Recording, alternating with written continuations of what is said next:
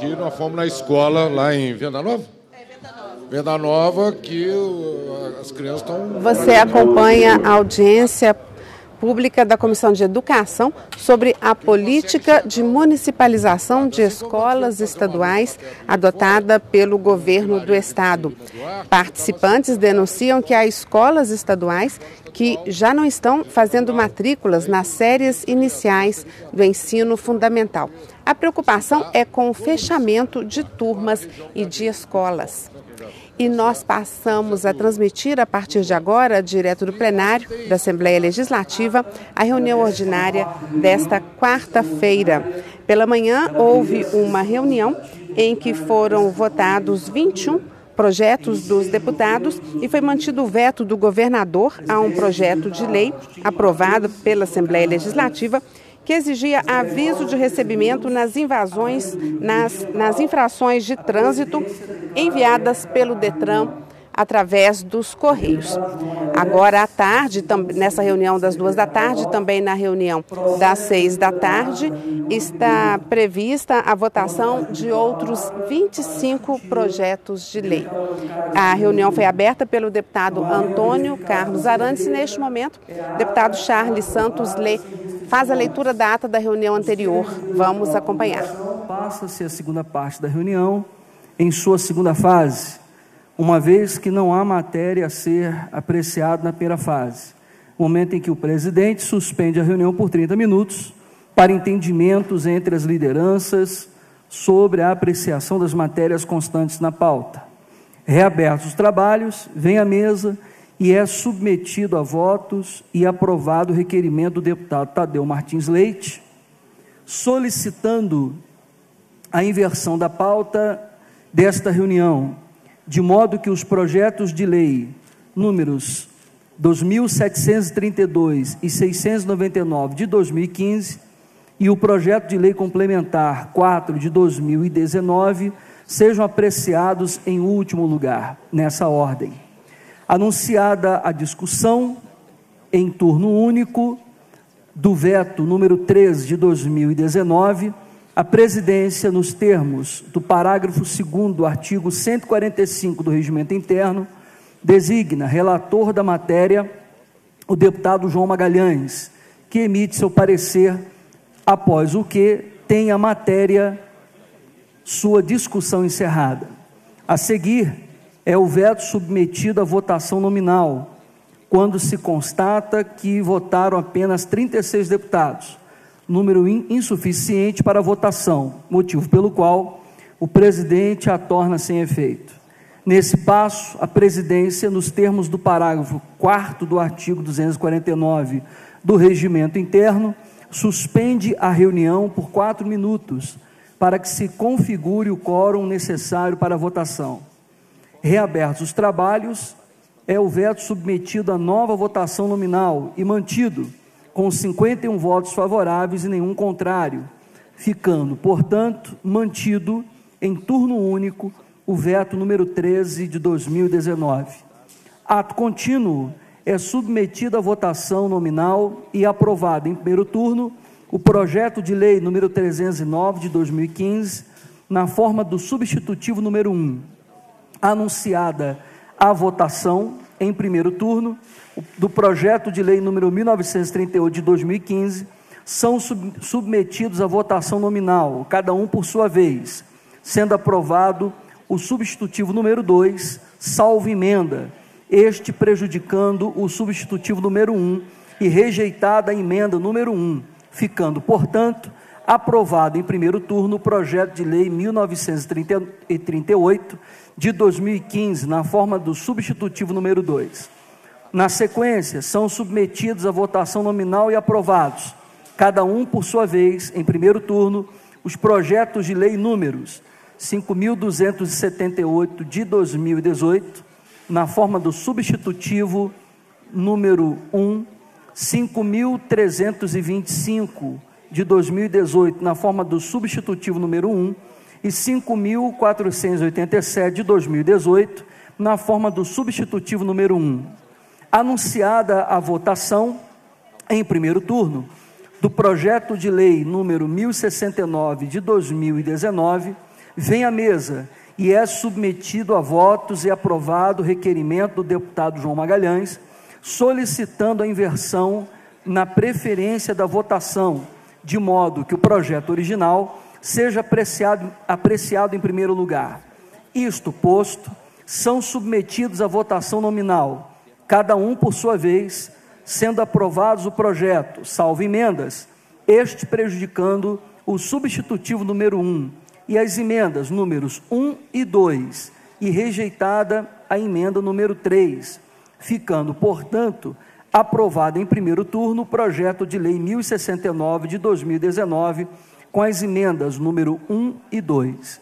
A seguir são submetidos à discussão e votação nominal e aprovados, cada um por sua vez, em turno único, o projeto de lei número 3002 de 2015, com a emenda número 1 e em segundo turno os projetos de lei números 1072 de 2015, na forma do substitutivo número 1, ao vencido em, tu, em primeiro turno, 2553 de 2015, na forma do vencido em primeiro turno, 5.498 de 2018, na forma do vencido em primeiro turno, com a emenda número 1, 481 de 2019, na forma do vencido em primeiro turno, 600 de 2019, na forma do vencido em primeiro turno, 668 de 2019, na forma do vencido em primeiro turno, e 679 de 2019,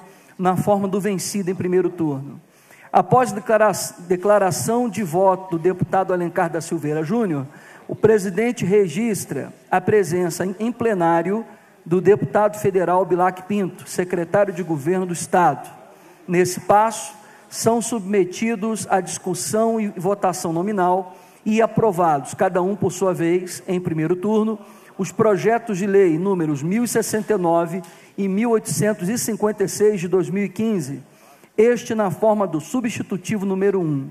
Anunciada a discussão em primeiro turno do projeto de lei número 2781 de 2015 e tendo esta sido encerrada, são submetidos à votação nominal, cada um por sua vez, sendo aprovados o projeto, salvo emendas, e as emendas números 3 e 4, estas prejudicando as emendas números 1 e 2, ficando, portanto, aprovado em primeiro turno o projeto de lei número 2781 de 2015, com as emendas números 3 e 4.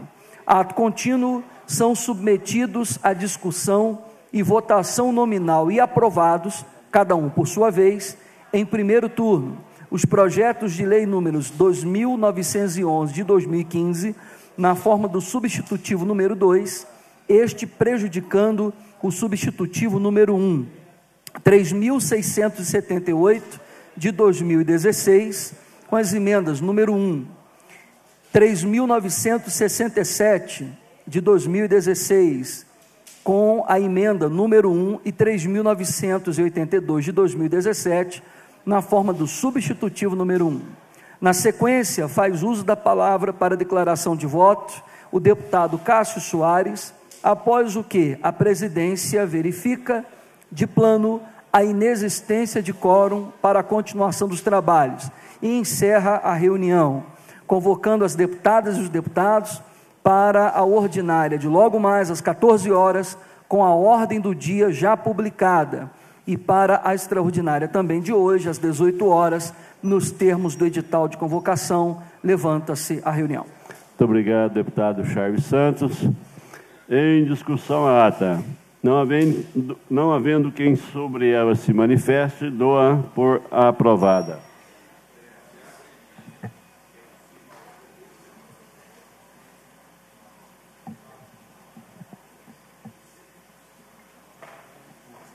Com a palavra, o primeiro secretário, Tadeu Martins, para a leitura, para proceder à leitura das correspondências.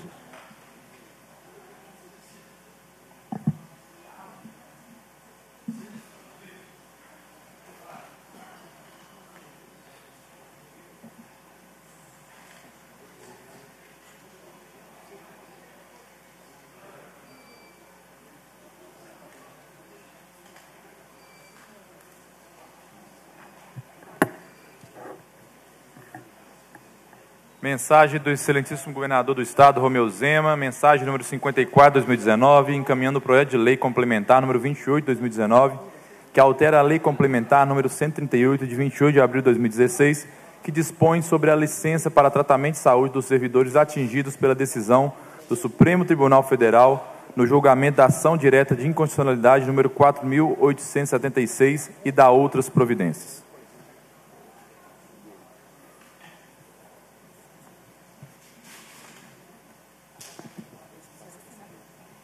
A presidência passa a receber proposições e a conceder a palavra aos oradores inscritos para o grande expediente.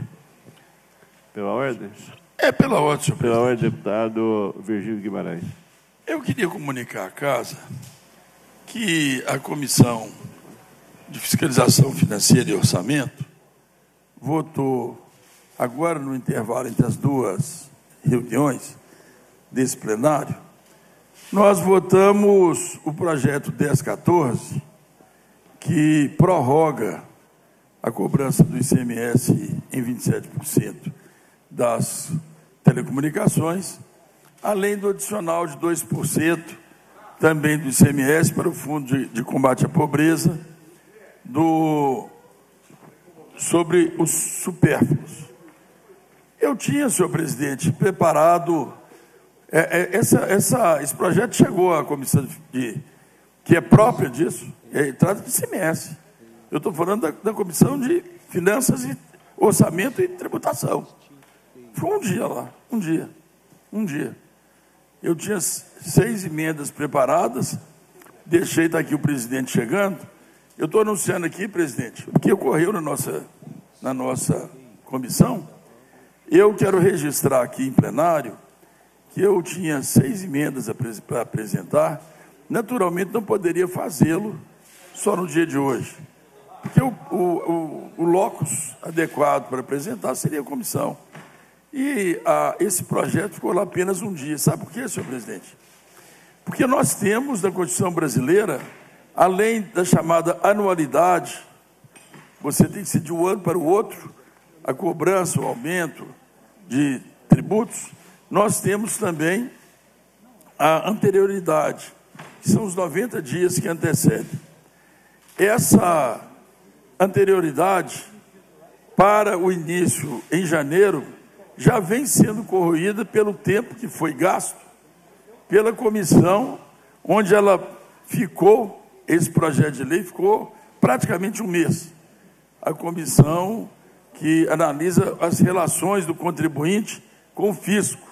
Não sei exatamente o que tem a ver a elaboração de leis sobre a tributação com essa comissão que cuida das relações do fisco, de educação fiscal da população. Mas lá per, per, permaneceu durante esse período o que representa, pegando os dados do ano passado, senhor presidente, pegando os dados do ano passado, é, deputado Tadeu, representa 850 milhões, que foi o ano passado, um mês de atraso representa 70 milhões. 70 milhões que, foi, que, foram, que foi o prejuízo oferecido por esse, essa maneira de colocar em votação, de atribuir a essa comissão esse poder de segurar esse projeto de lei por um mês. Eu falo isso, senhor presidente, que eu, eu quis ajudar, deixando para oferecer as emendas que vêm a tornar mais robusta a cobrança. Eu sou favorável a lutar pelo equilíbrio fiscal e para não oferecer um prejuízo adicional, fiz questão de deixar para um outro momento, onde essas emendas poderiam ser analisadas sem causar o mesmo prejuízo. Aproveito para saudar aqui o presidente Agostinho, que chega aqui. Essa colaboração que, que demos, não ao governo, mas a Minas Gerais, não ao governo, mas ao equilíbrio fiscal, na convicção de que conseguiríamos que essas emendas serão devidamente analisadas. E mais, deputado presidente, e mais. Eu tive a oportunidade de discutir ao longo do tempo aqui com uma pessoa olhana, uma pessoa cheia de cordura, uma pessoa maravilhosa no trato, no trato pessoal mas não no trato de tratar as coisas. Que é o secretário de obras desse governo, um governo que tem um excelente secretariado. Na área econômica que eu convivo, um excelente secretariado. Na área do governo, nós conhecemos o Bilac. Mas, presidente, ser tratado como fui tratado, de segurar projeto quando precisa de segurar para o governo buscar fontes de receita, de combinar e não cumprir nada. Zero para o Norte de Minas, zero para Bocaiúva, zero para Curvelo, zero de obra para todo lugar. Senhor presidente, eu quero agora, não é oferecer um prejuízo de 70 milhões, não. É de um custo de um milhão por mês, durante uma coisa prevista, no pedágio que está pre, pre, prevista, previsto, o desconto promocional, e que é um milhão por mês. Seis meses são seis milhões é menos de 10% do prejuízo que o governo tomou com o atraso de um mês. Senhor presidente, a arrecadação vai começar só em fevereiro. Esse período que o projeto dormitou naquela comissão, senhor presidente, é um dozeavos, um dozeavos de 850, são 70 milhões. Senhor presidente, combinei com Vossa Excelência, mas agora eu faço questão. Eu não aceito que sejamos tratados dessa forma. O deputado que está ao seu lado aí, deputado Tadeu Leite, acompanhou o, o, o que ocorreu naquela ocasião. O deputado Guilherme da Cunha, todos os passos que foram dados. Senhor presidente, não existe essa possibilidade de um tratamento dessa forma. Não existe essa possibilidade. Eu sou uma pessoa que tem responsabilidade com o Estado. Eu passei minha vida metade como, como governo, metade como oposição, minha vida parlamentar. Nunca tive uma atitude destrutiva nas comissões que fiz parte, sempre de finanças, tributação e orçamento. Mas nunca vi, nunca vi, numa vida parlamentar, algo semelhante ao que eu passei, ao que eu passei, ao distrato que tive, que eu vi aqui nessa. Nunca vi. Gostaria depois, pessoalmente, narrar para Vossa Excelência, sobretudo na presença das pessoas que conhecem tudo e viram 70 milhões de prejuízo. Eu quero ver quem vai negar à população do Norte de Minas um mísero desconto de 6, de 6 milhões, que é um milhão por mês apenas no desconto dado ali naquela arrecadação. Senhor presidente, por isso eu peço encarecidamente a Vossa Excelência. Eu que abdiquei hoje dos prazos de apresentação de emenda para não atrasar. Espero não precisar de fazer isso mais. Espero não fazer mais. Que eu tenho certeza que esses projetos serão colocados em votação da mesma forma que as emendas serão analisadas. Não quero que sejam aprovadas. Não vou colocar faca no pescoço de ninguém. Não vou obrigar ninguém a aprová-las. Nem o projeto, nem as emendas. Mas eu quero, pelo menos, ter oportunidade de defendê-las e vê-las votadas aqui nesse plenário. Com a palavra, deputado Bartô.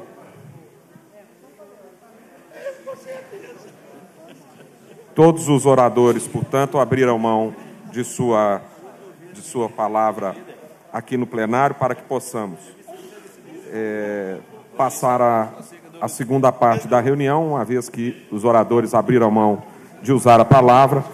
Passamos a segunda, par, a segunda parte da reunião com a primeira fase da ordem do dia, compreendendo os atos da presidência, as comunicações e a apreciação de pareceres, requerimentos e indicações.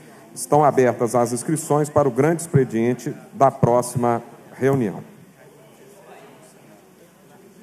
Comunicação da presidência. A presidência comunica que foram aprovados conclusivamente, nos termos do parágrafo único do artigo 103 do Regimento Interno, os requerimentos de números 3.699 de 2019 da Comissão de Direitos da Mulher, 3.700 a 3.705 e 3.711 de 2019 da Comissão de Transporte, 3.706 de 2019 da Comissão de Segurança Pública. Publique-se para os fins do artigo 104 do Regimento Interno. As comissões permanentes comunicam a apreciação conclusiva de matéria na seguinte reunião: Comissão de Administração Pública, reunião ordinária de 29 de outubro de 2019 e comissões de administração pública, de agropecuária, de desenvolvimento econômico e de transportes, reuniões ordinárias de 5 do 11, 5 de novembro de 2019. Ciente-se, publique-se. Esgotada a matéria destinada à primeira fase, a presidência passa à segunda fase da ordem do dia, com a discussão e votação da matéria constante na pauta. A presidência informa ao plenário que fez retirar da pauta desta reunião a matéria apreciada na reunião extraordinária realizada hoje pela manhã. Vem à mesa requerimento do deputado André Quintão, que requer, nos termos regimentais, a inversão da pauta desta reunião, de modo que o projeto de lei complementar número 4 de 2019 seja apreciado em último lugar e que o projeto de lei de número 5.161 de 2018 seja apreciado em penúltimo lugar. Em votação, o requerimento. Senhoras deputadas, senhores deputados que o aprovam, permaneçam como se encontram. Aprovado. Discussão em segundo turno do projeto de lei. Solicito para recomposição de quórum o, ao primeiro secretário, deputado Tadeu Martins, que faça a chamada para recomposição de quórum para votação. Deputado Antônio Carlos Arantes, Cristiano Presente. Silveira, Alencar da Silveira Júnior, Carlos Henrique, Arlen Santiago, Ana Paula Siqueira, André Quintão, Andréia de Jesus, Bartô, Beatriz Cerqueira, Betão, Betinho Pinto Coelho, Bosco, Braulio Braz, Bruno Engler, Carlos Pimenta, Cássio Soares, Celinho Sintrocel, Celise Laviola, Charles Santos, Cleitinho Azevedo, Coronel Henrique,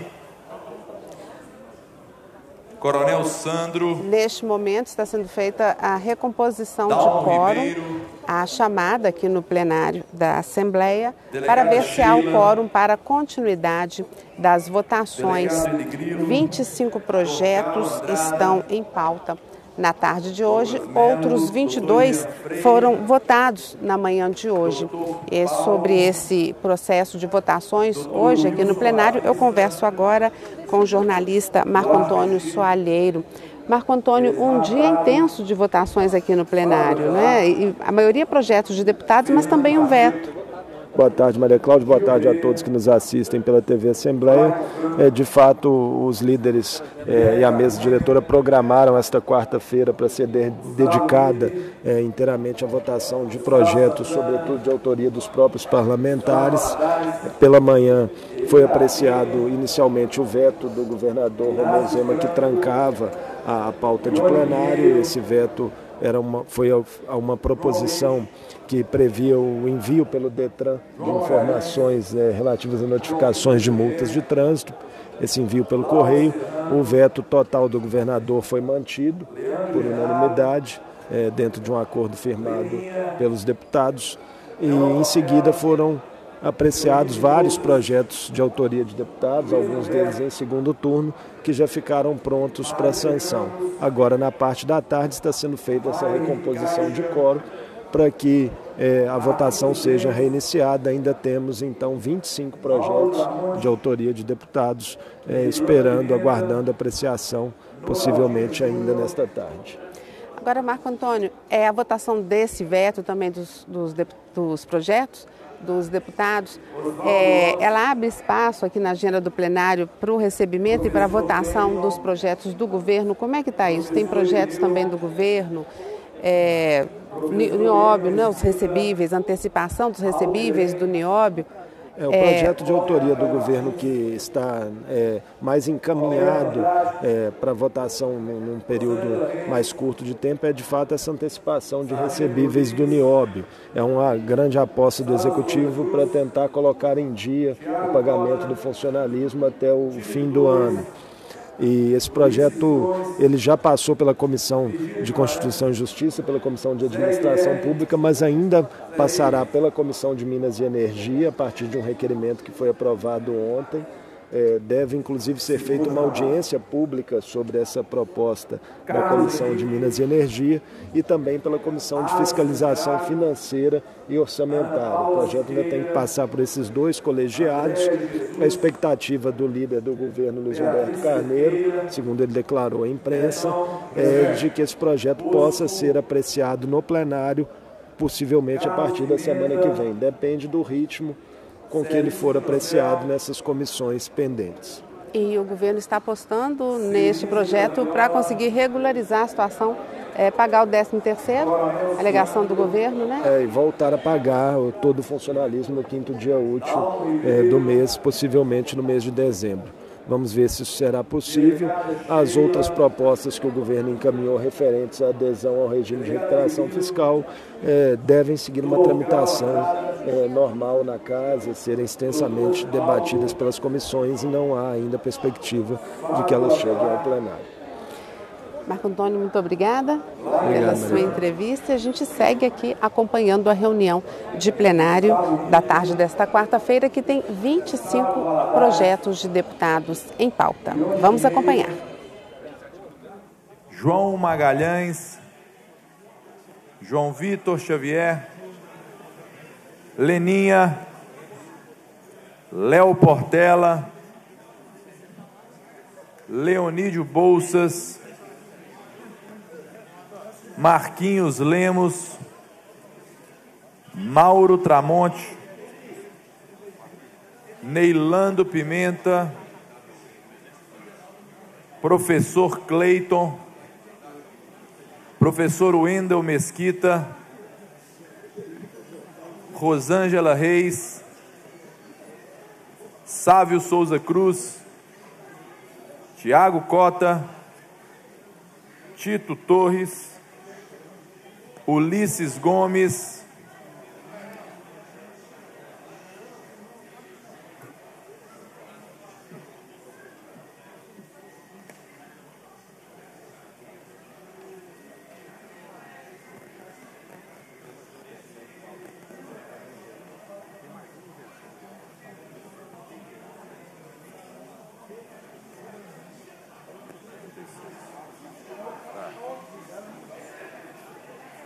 Presidente, nós temos 46 senhores deputados e senhoras deputadas.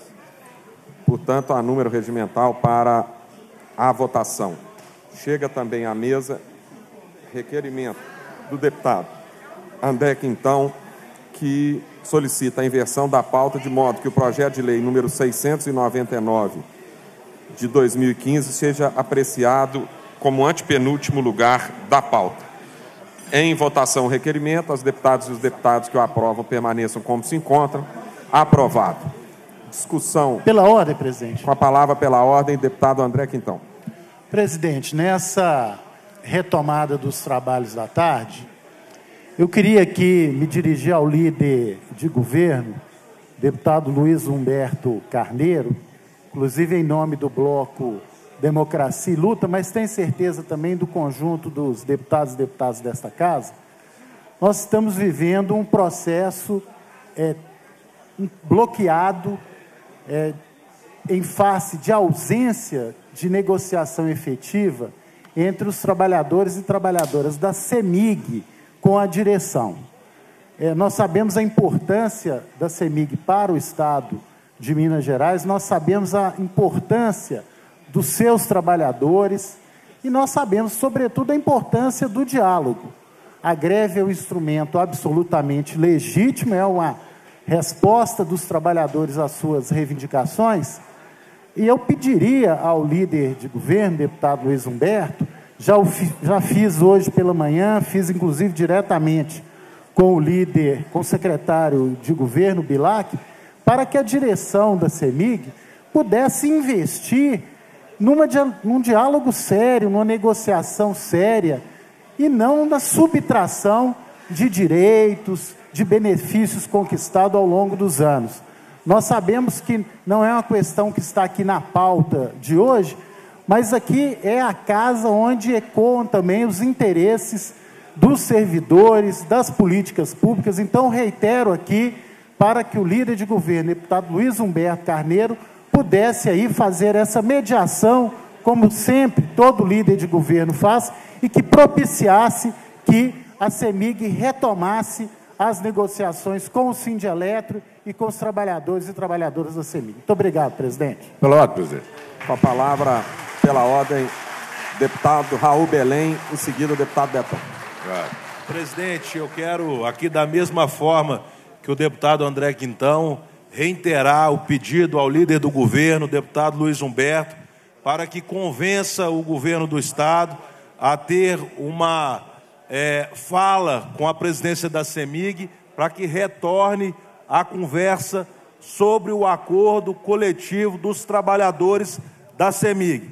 Nós sabemos que isso é extremamente importante é, é uma coisa que foi definida de uma forma unilateral e é preciso sim ouvir os trabalhadores da CEMIG sobre os seus direitos, sobre as suas propostas. Nós estamos num momento que nós não podemos ser intransigentes. Então eu peço ao nosso líder do governo que possa é, nos atender para que retorne o diálogo em relação ao acordo coletivo de trabalho dos servidores da CEMIG, senhor presidente. Com a palavra pela ordem, deputado Betão. Senhor presidente, eu vim aqui também para reforçar as falas dos deputados André Quintão e Raul Belém com relação a essa questão das negociações dos trabalhadores do sindicato dos trabalhadores da CEMIG com o, a, dire, a direção da CEMIG. Porque chegou um momento que está se utilizando da pior forma possível, que é não estender a data base da categoria. Isso, no meu entendimento, é uma covardia, porque quando você tem a data base garantida, você prolonga a discussão, dando tranquilidade para os trabalhadores de que o acordo coletivo vigente está valendo. Né? Então, eu faço um apelo também aqui ao líder do governo, um apelo também ao representante do Partido novo, o deputado Guilherme Cunha, que possa estar levando essa discussão até o governador e a direção da CEMIG para que seja garantida a database e que se continuem as negociações. Obrigado. Tá ótimo, presidente.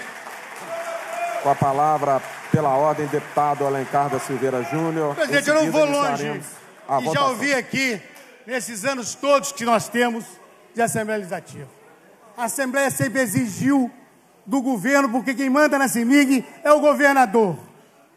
Quem fala para a CEMIG é o governador. Então está na hora do governador chamar o presidente e falar, presidente, nossos funcionários de Minas não podem ser tratados desse jeito, não.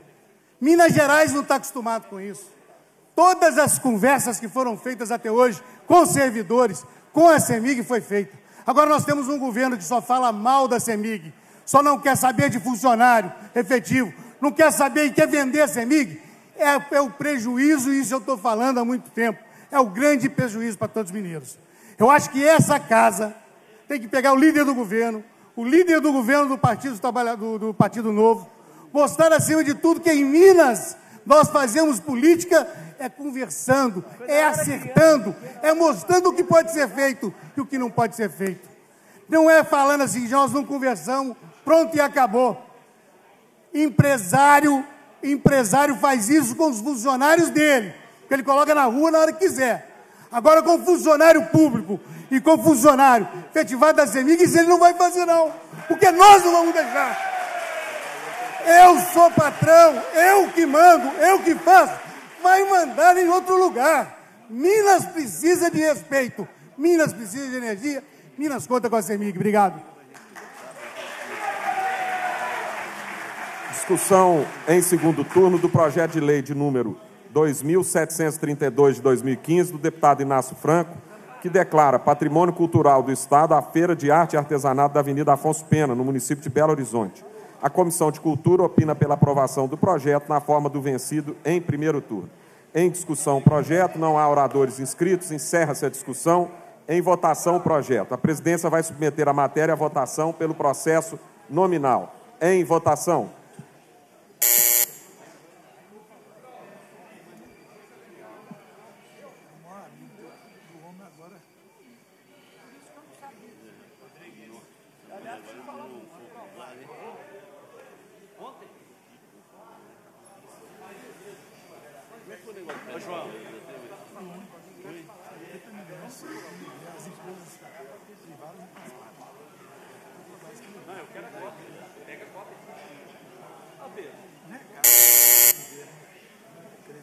Segunda chamada, em votação.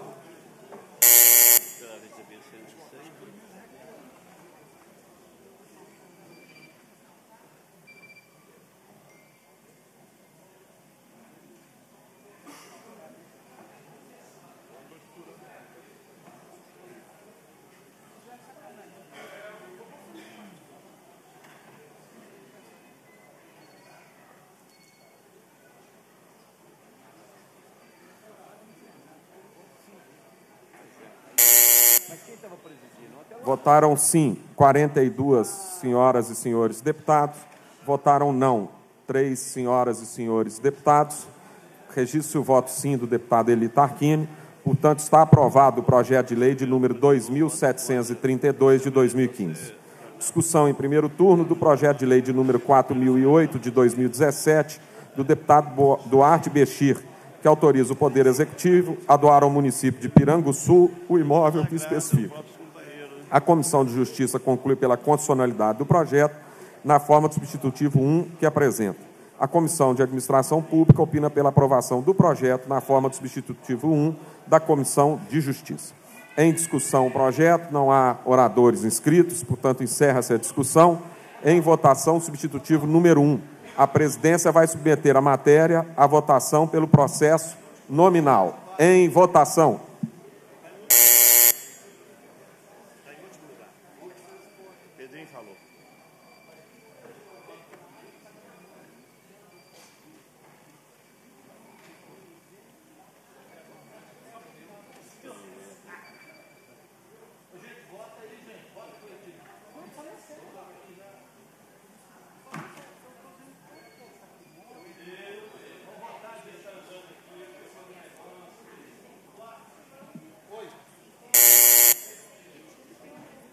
Segunda chamada, em votação.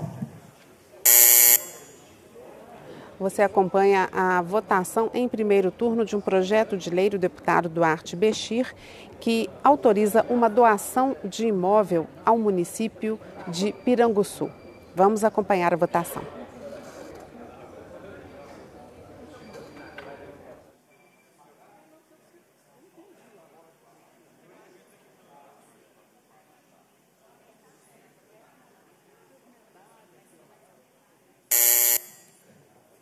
Votaram sim.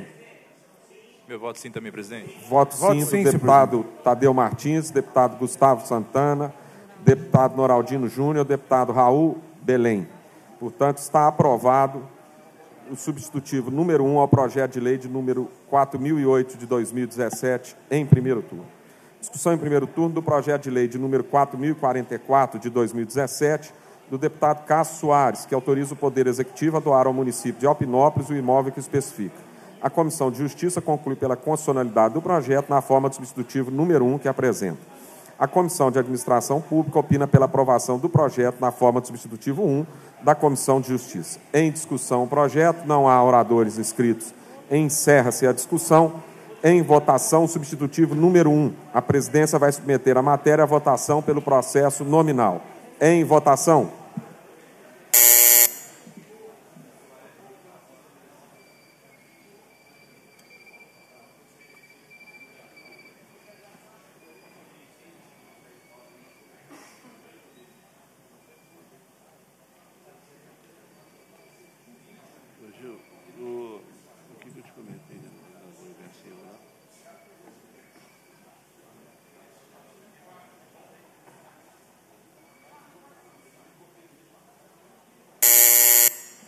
Segunda chamada, em votação. Você acompanha a votação em primeiro turno do projeto de lei do deputado Cássio Soares, que autoriza o Poder Executivo a fazer uma doação de imóvel ao município de Alpinópolis. Vamos acompanhar a votação.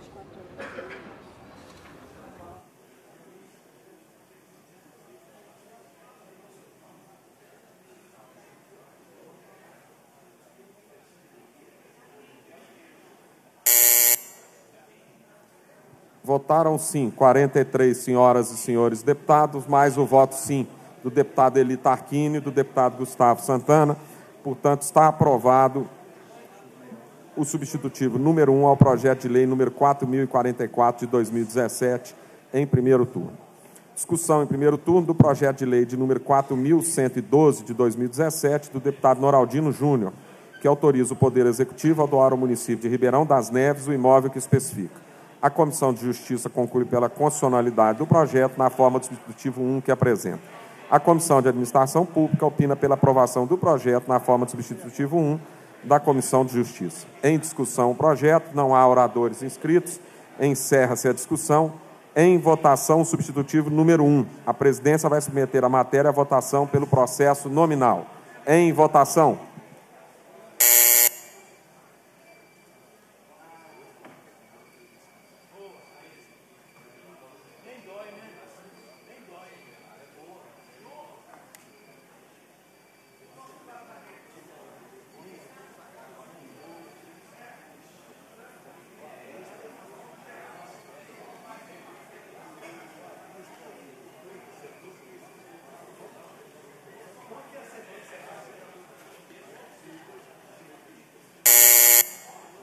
Segunda chamada, em votação.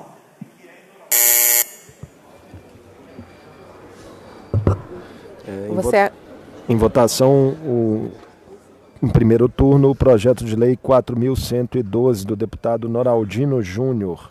O projeto autoriza o Poder Executivo a doar ao município de Ribeirão das Neves um imóvel com área de 835 metros quadrados para sediar a Secretaria Municipal de Saúde de Ribeirão das Neves.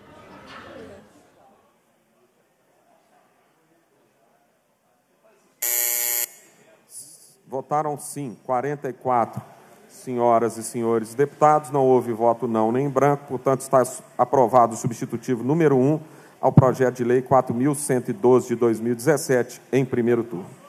Discussão em primeiro turno do projeto de lei de número 4426 de 2017, do deputado Gustavo Santana, que autoriza o Poder Executivo a doar ao município de Jacinto o imóvel que especifica. A Comissão de Justiça conclui pela constitucionalidade do projeto com a emenda número 1 que apresenta.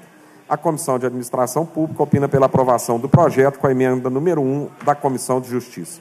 Em discussão o projeto, não há oradores inscritos, encerra-se a discussão. Em votação o projeto, salvo emenda. A presidência vai submeter a matéria à votação pelo processo nominal. Em votação.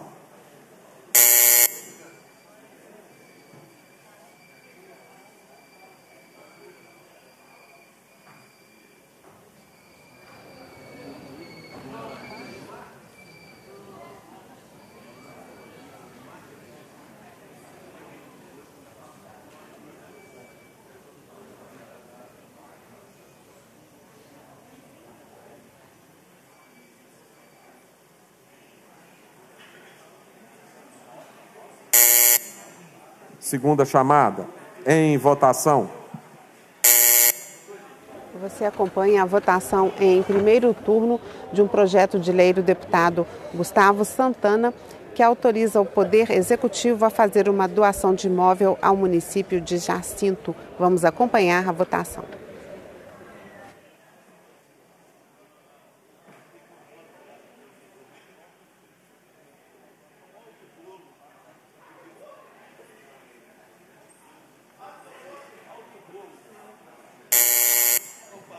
Votaram sim 46 senhoras e senhores deputados.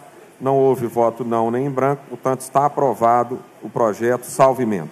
Em votação, a emenda número 1, comparecer pela aprovação. A presidência vai submeter a matéria à votação pelo processo nominal. Em votação.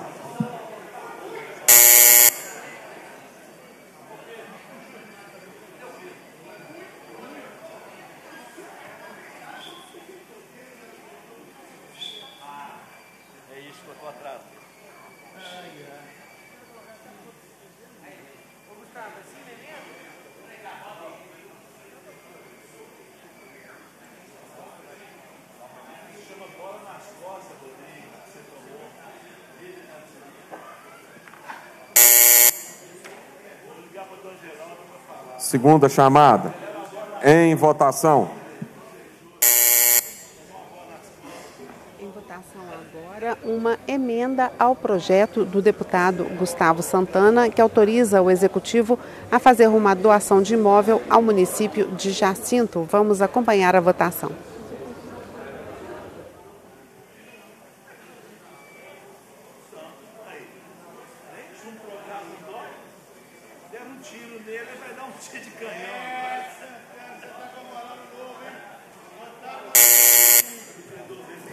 Votaram sim 43 senhoras e senhores deputados.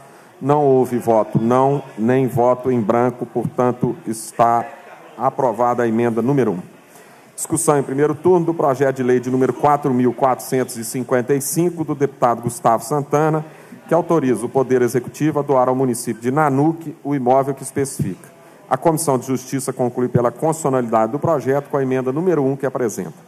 A Comissão de Administração Pública opina pela aprovação do projeto com a emenda número 1 da Comissão de Justiça. Em discussão o projeto, não há oradores inscritos, encerra-se a discussão. Em votação o projeto, salvo emenda. A presidência vai submeter a matéria à votação pelo processo nominal. Em votação.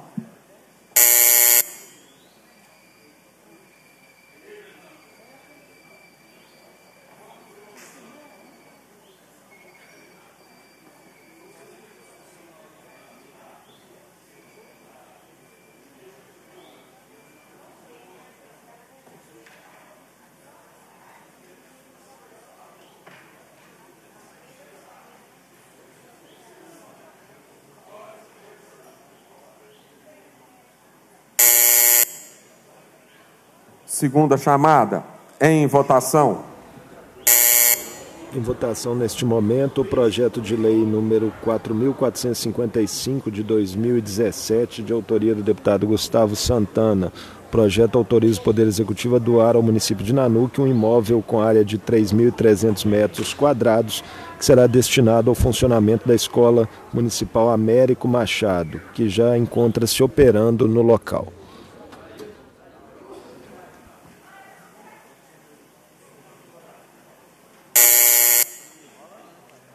Votaram sim 46 senhoras e senhores deputados.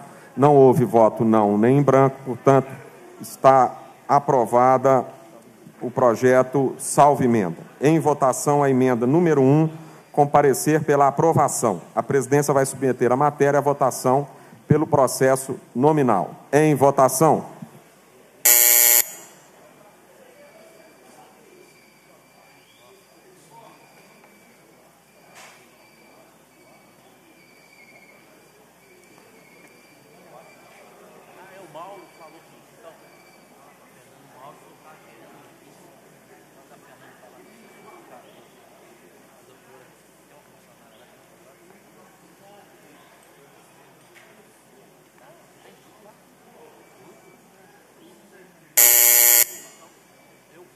Segunda chamada, em votação.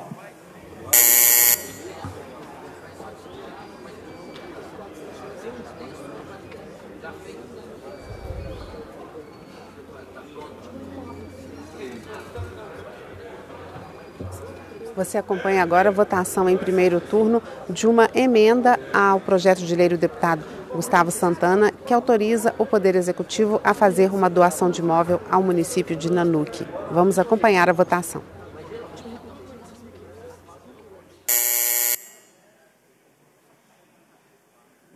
Votaram sim 45 senhoras e senhores deputados. Não houve também voto sim do deputado Douglas Melo. Não houve voto não nem branco, portanto, está aprovada a emenda número 1 ao projeto de lei 4.455. Discussão em primeiro turno do projeto de lei número 4.734 de 2017 do deputado Wilson Batista, que dispõe sobre a obrigatoriedade de notificação compulsória da neoplasia maligna no estado de Minas Gerais e da outras providências. A Comissão de Justiça conclui pela constitucionalidade do projeto na forma do substitutivo 1 que apresenta. A Comissão de Saúde opina pela aprovação do projeto na forma do substitutivo 2 que apresenta e pela rejeição do substitutivo 1 da Comissão de Justiça. Em discussão o projeto, não há oradores inscritos. Encerra-se a discussão. Em votação, substitutivo número 2. A presidência vai submeter a matéria à votação pelo processo nominal. Em votação.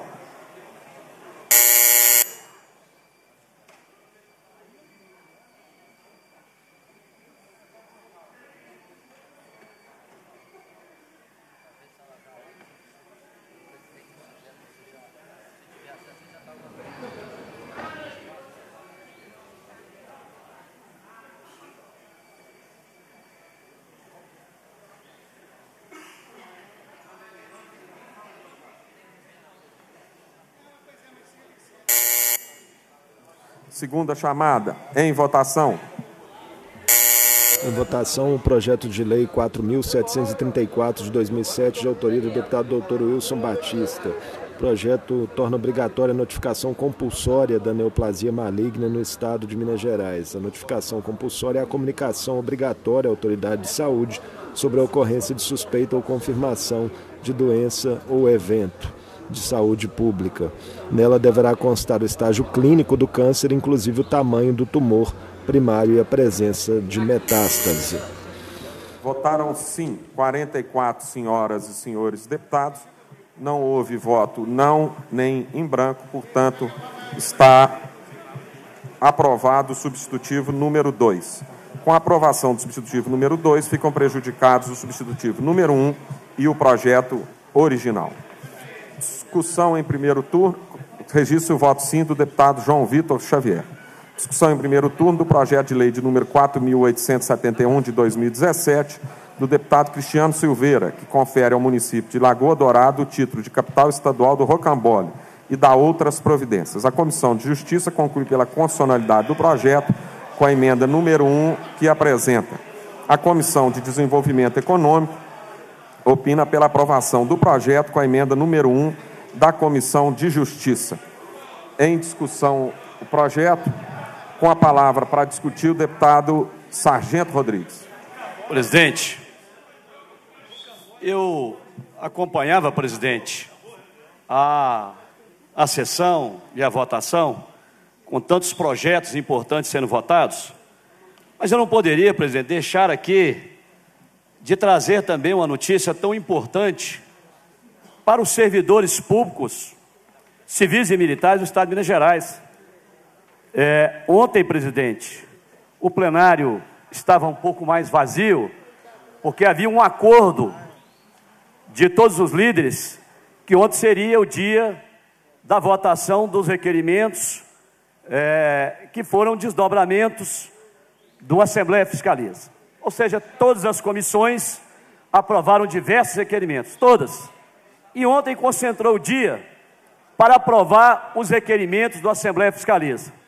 Só que aí, presidente, nós tomamos conhecimento que o líder da minoria, o deputado Ulisses Gomes, do PT, aprovou o seguinte requerimento ontem, aqui nessa casa. O deputado que subscreve requer a Vossa Excelência, nos termos regimentais, do artigo 183 do Regimento Interno, que seja o projeto de lei 1205 de 2019 distribuído à Comissão de Minas e Energia para parecer deputado Coronel Sandro, deputada delegada Sheila, deputado Bruno Engler. O que representa um processo de obstrução num projeto de lei que é a solução mais rápida possível para colocar em dia o pagamento no quinto dia útil de todos os servidores públicos, civis e militares. E aí, presidente, a gente tem tido com Vossa Excelência um enorme respeito e deferência quando Vossa Excelência pede, não só a mim, pede aos líderes e às comissões, para que a gente faça sempre dentro de um acordo. Eu comecei a colher, deputado Dalmo, assinaturas para colocar esse projeto em caráter de urgência. Por quê? Numa linha de entendimento, o governo do Estado e a mesa da Assembleia, para que não tramitasse o projeto em caráter de urgência, mas para que os deputados pudessem apreciar de forma mais tranquila. Não foi isso que aconteceu no do governo do PT. Eu já fiz o levantamento, são mais de 25 projetos em caráter de urgência que tramitaram nessa casa. Eu não vi aqui nenhum deputado da oposição, e eu compunha oposição no governo passado, apresentando qualquer requerimento para que a PEC, a PEC, que em tese garantiria o piso dos trabalhadores de educação, pudesse ter sua votação atrasada.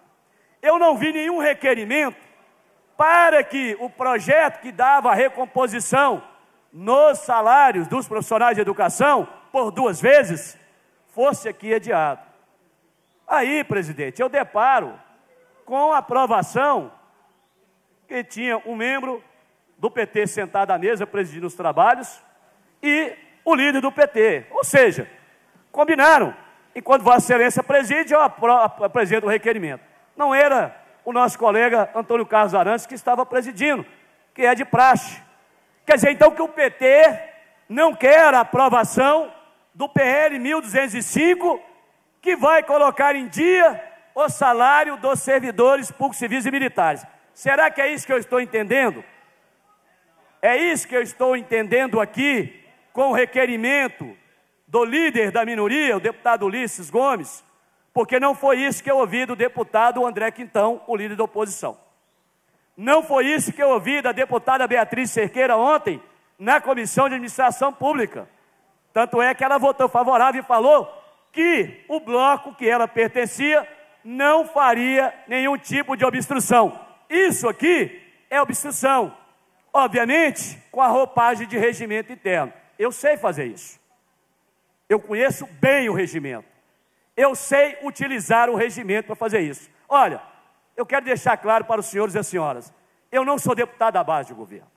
Não existe nenhum deputado aqui neste parlamento que fez tanta oposição ao candidato, então governador Romeu Zema. Não existe. Eu fiz oposição ferrenha a ele na campanha.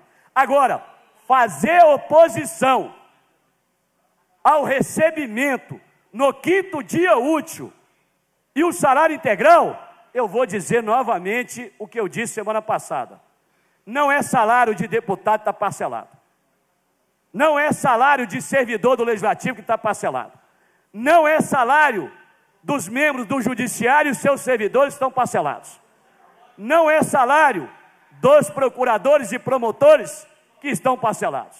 Não é salário dos conselheiros do Tribunal de Contas. Eu fiz um apelo. Nós temos que ter, no mínimo, dó dos servidores. Esse requerimento manda o projeto para outra comissão ou seja, não quer que aprove?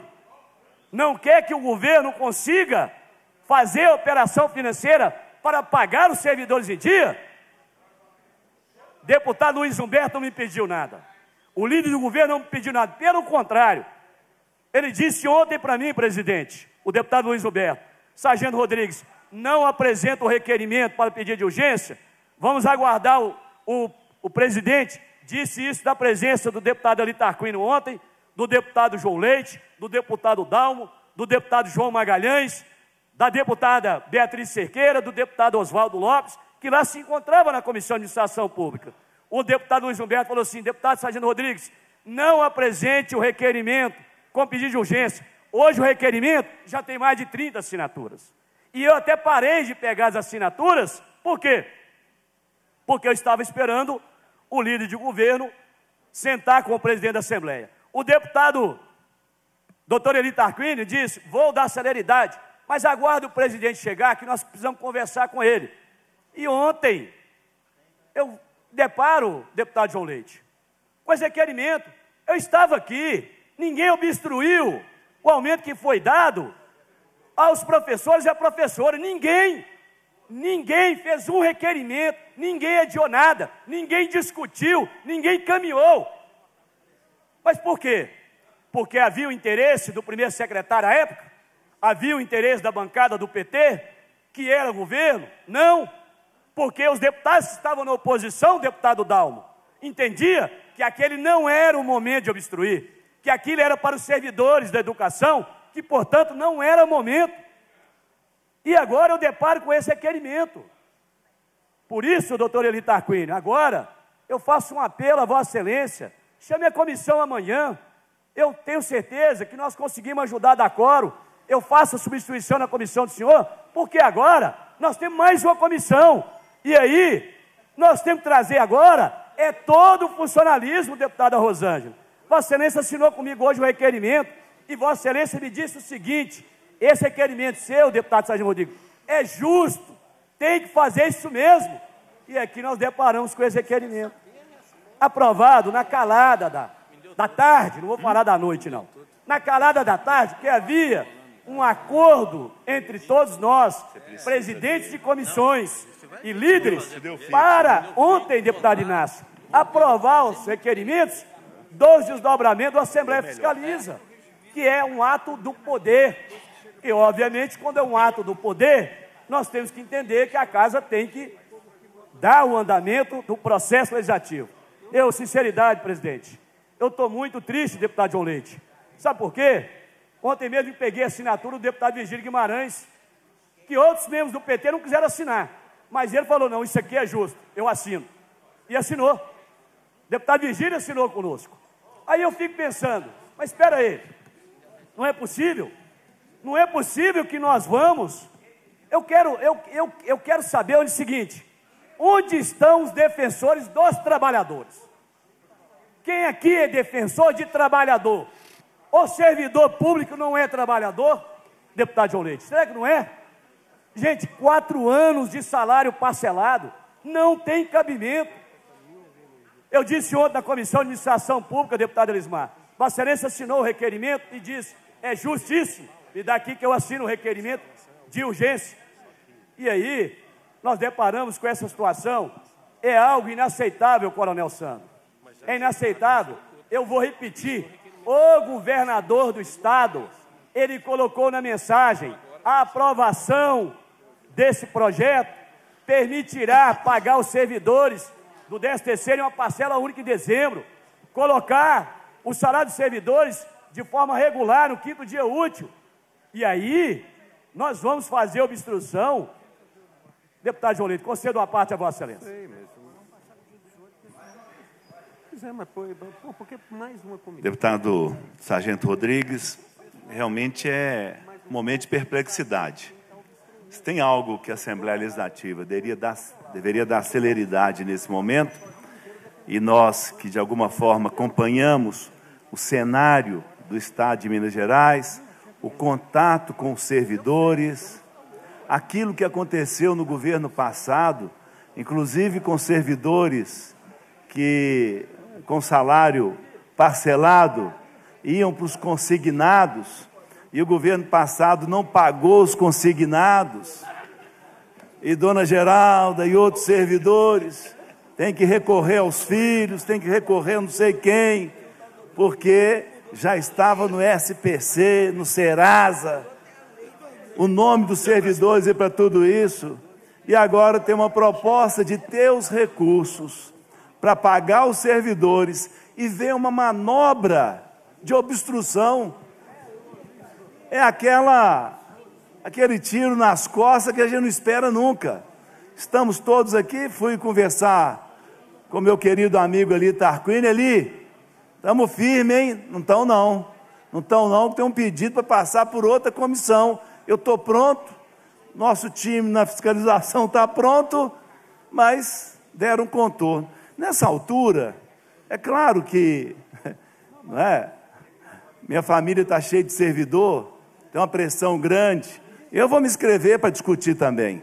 Mas eu queria fazer uma sugestão: que o presidente da Assembleia suspendesse a reunião, para que a gente buscasse o entendimento, para não ter necessidade de ficarmos aqui duas horas, não vamos conseguir, nós vamos perder o quórum, temos votações, tem inclusive projeto de minha autoria que está na pauta, eu abro mão, não tem que votar. Não tem que votar esse projeto, mas é inaceitável não é? Essa, esse tipo de coisa que acontece no parlamento, ainda mais no momento desse, nós estamos trabalhando com a situação de pessoas que. de pessoas que estão passando necessidade nesse momento, e nós vamos aceitar isso? Então, a minha sugestão, deputado Sargento Rodrigues, sei que Vossa Excelência é uma pessoa de diálogo, que o presidente suspendesse e que buscássemos um entendimento. Obrigado. Obrigado, deputado João Leite. Eu vou fazer um apelo ao deputado Rafael Martins, que acabei de tomar conhecimento, é o presidente da Comissão de Minas e Energia. Quem sabe ele pode chamar uma reunião extraordinária amanhã, às 15h30 horas, que eu vou lá. Tenho certeza que outros colegas deputados que assinaram o requerimento comigo, que são mais de 30, vão lá ajudar. Vão lá ajudar enquanto a gente é, ouve o presidente por deferência, não apresenta o requerimento a pedido do líder de governo, do presidente, para que a gente busque uma solução, a gente vai tomando pernada do outro lado. E é isso, deputado Luiz Roberto. Vossa Excelência fez um apelo público, não foi escondido, não. Vossa Excelência estava na comissão ontem, na hora que o presidente da comissão, o deputado João Magalhães, passou a palavra Vossa Excelência. Vossa Excelência falou abertamente, não, nós estamos aguardando a chegada do presidente da Assembleia, vamos sentar com ele, doutor Eli Tarquínio também, e vamos costurar aqui um acordo. Olha, eu vou repetir, eu não sou deputado da base de governo, não quero ser deputado da base de governo. Mas isso é questão de justiça, deputada Rosângela. É justiça. Será que as pessoas não estão entendendo que o servidor quer receber o quinto dia útil? Ou a Assembleia quer ser sitiada pelos servidores? Porque talvez a Assembleia queira. E para fazer isso, eu consigo rapidamente. Eu consigo chamar uma manifestação e colocar aqui 10 mil pessoas. Eu consigo, rapidamente. É só dizer: olha, o líder da minoria está, o PT, com a minoria, está obstruindo. E vocês têm vindo para cá. Talvez seja por isso que alguns membros do PT não quiseram assinar o requerimento de pedido de urgência. Concedo uma parte ao deputado Virgílio Guimarães. Muito obrigado, deputado Sargento Rodrigues.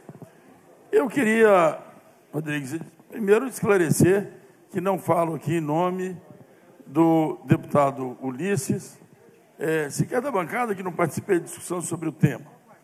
Mas falo aqui, talvez com alguém que tenha um conhecimento de tramitação e de preocupação com a celeridade e a segurança. Duas coisas têm que conviver nesse processo. Hoje pela manhã, felizmente antes dessa, dessa informação, na nossa comissão, a de fiscalização financeira e orçamentária, o nosso presidente, doutor Eli Tarquínio, é, apresentou dois ou três requerimentos para o governo, visando os esclarecimentos a respeito desse projeto de lei, exatamente visando a segurança naquilo que votamos aqui.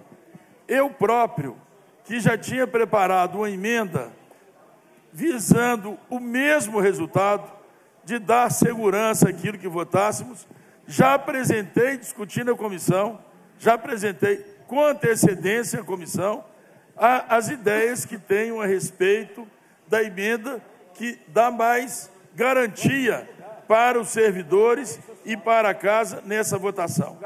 Acho até, deputado Sargento Rodrigues, que como a, a, a Assembleia é uma parte importante, mas não é a única, a preocupação com eventual atuação, seja do Ministério Público, seja do Tribunal de Contas, me parece ser uma preocupação, uma preocupação adequada para que nós possamos votar e ter os efeitos necessários.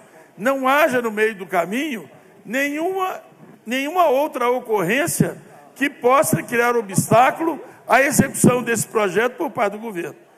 Oportuno da sua parte, deputado Sargento Rodrigues, se dirigir aos dois presidentes, vejo ali o deputado Rafael, vejo aqui ao lado do deputado doutor, do, do, doutor Tarquínio, que poderíamos, com a mesma preocupação que orientou o nosso presidente, que procurou informações para dar segurança ao projeto, também lá na outra comissão, com certeza o presidente, é, repórter Rafael, deputado Rafael, vai providenciar para que com rapidez se colhe as informações necessárias do Tribunal de Contas, quem sabe até do próprio Ministério Público para que a votação transcorra com rapidez aqui, mas com segurança quanto à aplicabilidade do resultado. Porque apenas a pressa aqui pode resultar numa, num atraso futuro, se houver alguma outra interferência, legítima também, por outras fontes.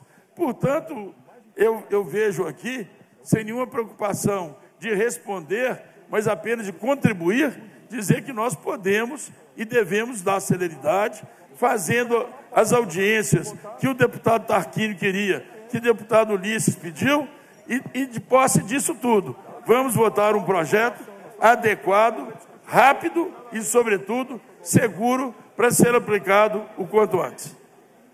Agradeço, deputado Vigílio Guimarães. Permite uma parte, deputado? Eu concederei, mas o claro. deputado Coronel Sandro já está inscrito antes. Vossa Excelência tem a palavra, deputado Coronel Santos. Obrigado, deputado Sargento Rodrigues. Realmente, O Brasil não é para amadores, não, deputado Sargento. Sargento Rodrigues. Nós. Eu quero só. Posso falar? Está falando o Sandro. O deputado Coronel Sandro está, na, está fazendo uso, doutor Eli. Conceda Tá, a Vossa Excelência. vou, vou- eu vou ser breve. Olha, o que nós estamos discutindo aqui é a situação de servidores que já estão há anos recebendo o salário parcelado, não têm a segurança de que vão receber o 13º salário, como aconteceu em anos anteriores, e quando se consegue uma alternativa, que isso está sendo negociado com o governo já há algum tempo, e Vossa Excelência sabe muito bem disso, que nós participamos lá da mesma reunião, tratando das questões da segurança pública, e essa possibilidade, com a aprovação do projeto 1205, estende a todo o funcionalismo público o retorno ao quinto dia útil e o fim do parcelamento. Então, o que que acontece? Um partido que passou aí anos no governo se dizendo defensor do funcionalismo público está aqui na Assembleia obstruindo os trabalhos para que o servidor público não receba o seu salário. E engraçado que a galeria está cheia ali de gente que veio aqui protestar, eu não vi uma vaia para esse partido. Nenhuma! Sabe por quê? Porque está tudo aparelhado. É um bando de pelego que não defende funcionário público, não. Só defende quem é da classe deles. Por isso, deputado Sargento Rodrigues, deve ficar bem claro, bem claro, que esse partido está aqui impedindo que os servidores públicos de Minas Gerais recebam os seus salários em dia, recebam o seu 13 terceiro salário. Então, isso não é oposição construtiva, não. Isso é oposição ideológica. Esse partido, que é uma vergonha para o Brasil, está mostrando aqui, nessa casa, com esse requerimento, para atrasar a votação do projeto, que ele não defende servidor público, não. Ele não defende ninguém. Ele só defende é o seu próprio projeto de poder. E o projeto de poder desse partido, apoiado pela pelegada, que só quer mamata, é escravizar a todos os brasileiros. Só que aqui não mais permitiremos isso. Nós estamos aqui para defender o funcionalismo e estamos de peito aberto. Quem não concorda que está em cima, vai, porque vaia de esquerdista para mim é bálsamo, é elogio. Eu me sinto fortalecido e reforçado toda vez que eu enfrento a pelegada. Deus aponta para mim e fala: Você é o cara. E eu sou o cara, porque eu tenho coragem de vir aqui e dizer a verdade. Porque essa cambada arrebentou o Brasil nos últimos 30 anos e vem aqui posar de mocinho dizendo que defende o povo. Defende o povo. Ova nenhuma! Não defende nem o funcionalismo público, que é eleitor cativo desse partido. E eles estão aqui atrasando uma votação que vai regularizar o salário, que bota comida na mesa do funcionário, Presidente. que bota leite na boca das crianças. e Tem que dar permite garantia de que fala ao deputado, presidente. As suas dívidas. A galeria Então, está impedindo o deputado de falar. Para encerrar, eu vou dizer: aqui nós estamos defendendo o funcionalismo. O PT e a pelegada não. E vai porque tá muito fraco, babaca. E outra coisa, presidente. o Lula tá preso, babaca. Tem que ter ordem aqui. A, Encerro. gale- a galeria Parabéns, tem que dar Sargento liberdade ao Parabéns. deputado de fala. E vai votar o 1205 sim. Muito obrigado, senhor presidente. Presidente. Palavra do deputado Sargento Rodrigues.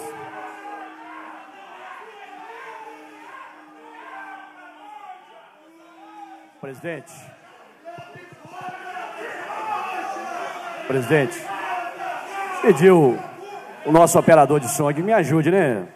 Presidente, durante a fala do deputado Coronel Sandro, Vossa Excelência prestou alguma atenção. É, o deputado está sendo ofendido verbalmente dentro da casa.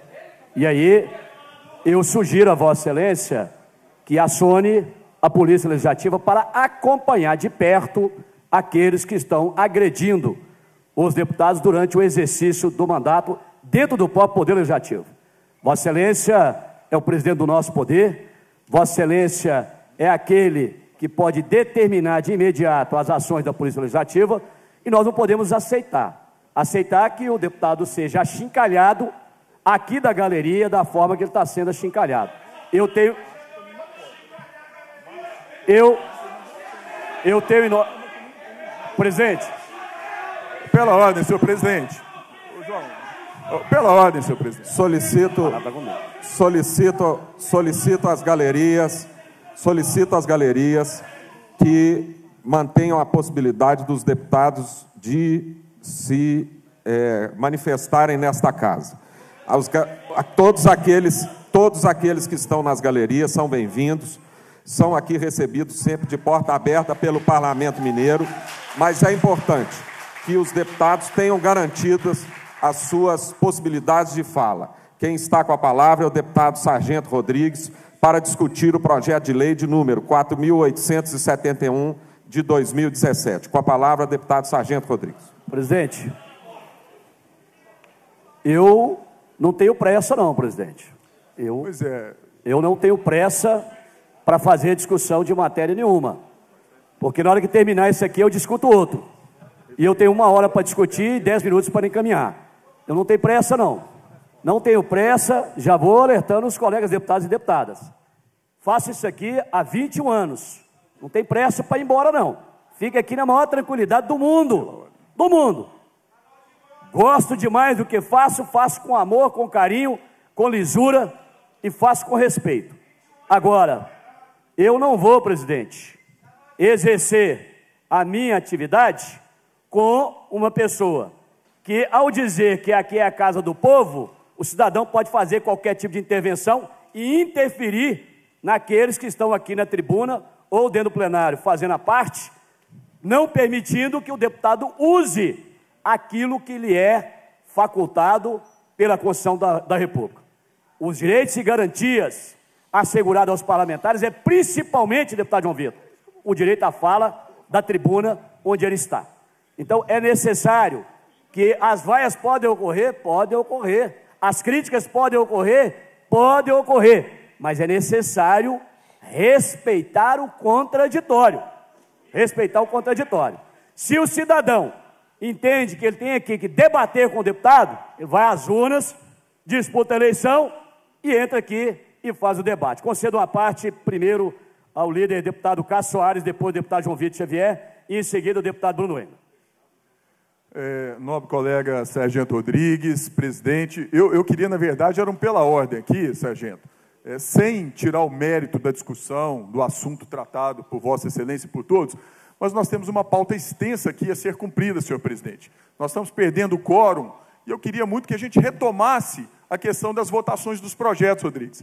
Ainda que, em outro momento, a gente volte a discutir esse assunto tão relevante que é o que o senhor está discutindo mas como regimentalista, nós estamos discutindo aqui o projeto 4.871 de 2007 e tem outros tantos projetos de deputados que estão aqui aguardando para serem votados. Então eu faço esse apelo para que a gente vote a votação dos projetos que estão em pauta e depois, no momento adequado, a gente discuta novamente esse assunto de extrema relevância que Vossa Excelência está tratando aqui nesse momento, Rodrigues. Vou responder Vossa Excelência, mas depois do aparte concedido aos colegas deputados. Com a palavra, o deputado João Vitor Xavier. Deputado Sargento Rodrigues, Vossa Excelência sabe da admiração pessoal que tenho por Vossa Excelência. Há dez minutos atrás, quando me pedia para assinar um projeto, disse que normalmente assino os projetos apresentados por Vossa Excelência com muita tranquilidade, porque eu sei da sua boa fé, da sua boa índole, da sua boa vontade. Mas eu me sinto obrigado a vir aqui me manifestar nesse momento porque o que me mantém nessa casa é a minha absoluta crença no espírito democrático. E faço um apelo à Vossa Excelência. Me preocupa muito quando o senhor usa o termo de estado de sítio no parlamento. O senhor utilizou agora há pouco, talvez não se lembre das suas palavras, mas o senhor falou que, se for necessário, se, se, se sitia essa Assembleia, se sitia. É Isso, mas o que está sitiado está sob o estado de, de sítio. Isso é hermenêutica não. verbal, né?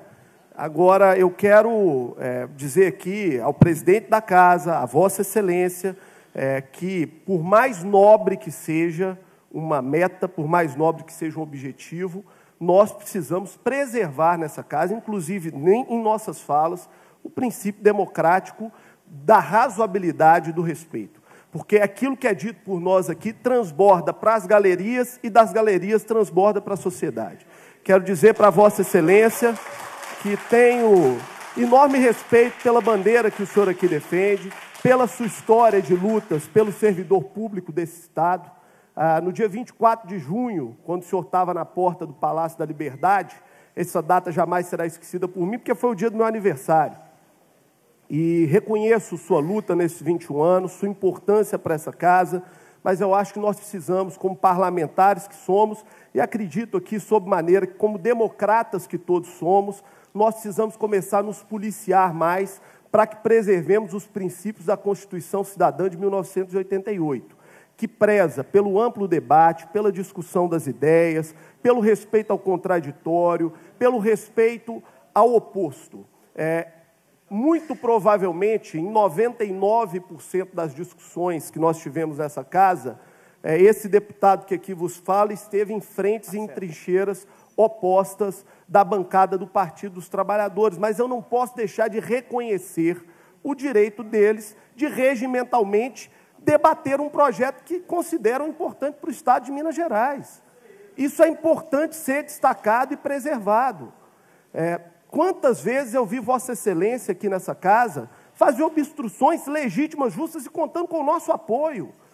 Eu, muito provavelmente, votarei a favor pelo menos dessa proposta do governo. Não sou da base do governo, sou um deputado independente, me baseio nessa casa pela discussão de ideias, aquilo que considero bom que vem do governo, voto a favor, aquilo que considero ruim, voto contra. Mas faço um apelo aqui, dentro do mais puro espírito democrático. Vamos tentar todos nos policiar para que essa casa continue governável e para que essa casa exerça, presidente, o seu papel maior, que é de convergência das diferenças. Porque em muito pouco tempo, dentro da inabilidade absoluta de um governo que é incapaz de dialogar com o parlamento, se nós não exercitarmos o diálogo aqui, esse Estado está falido. Está falido do ponto de vista não das finanças, porque ele já está há muito tempo. E nem sequer imputa essa responsabilidade a esse governo está falido do ponto de vista da construção democrática, que é o que me traz aqui nesse momento. Esse governo que aí está, até agora, não mostrou nenhuma capacidade de diálogo com a sociedade e com o parlamento. E não acho que é justo trazermos uma responsabilidade para o parlamento de uma incapacidade de diálogo desse governo, que até faço justiça, tem sido mitigada de algum tempo para cá pelo deputado Bilac, que é um parlamentar capacitado que tem se esforçado para dialogar, mas não se conserta em poucos dias aquilo que vem errado há muito tempo. Então, não é responsabilidade desse parlamento a absoluta incapacidade de diálogo do governo que aí está. Então, primeiro, para exigir celeridade em qualquer ação, eles primeiro têm que aprofundar a capacidade de diálogo com esse parlamento, de discussão de ideias. Então, de maneira muito respeitosa, mais uma vez reafirmando minha admiração por Vossa Excelência, mas me preocupa quando é, o, o debate chega nesse limiar de discordância de ideias se transformar numa posição de um possível sítio do parlamento do Estado, por mais nobre que seja a vontade ou o objetivo, eu acho que nada é mais nobre do que a democracia em sua essência. Muito obrigado. Vou Vossa Excelência trouxe aqui uma fala que não representa aquilo que eu disse. Falei que fiz questão de pedir a assessoria da mesa, porque existe uma previsão constitucional para o estado de sítio. O estado de sítio, deputado, não é isso. Quando eu falei para trazer os servidores para a Assembleia, era para acompanhar e pressionar. É legítimo a pressão democrática por parte dos servidores, e não é de hoje. Eu fui vaiado aqui quando disse que a PEC, que o senhor Rogério Correia apresentava naquele momento, a PEC era inconstitucional, que eu tinha, mesmo assim, em respeito aos trabalhadores da educação, tinha assinado, votado na comissão e ia votar em plenário. Eu fui vaiado aqui. E essas galerias estavam tomadas de todos os trabalhadores da educação. E nem por isso. Né? me referir ao artigo 137 do estado de sítio. Estado de sítio é o que está acontecendo no Chile nesse momento.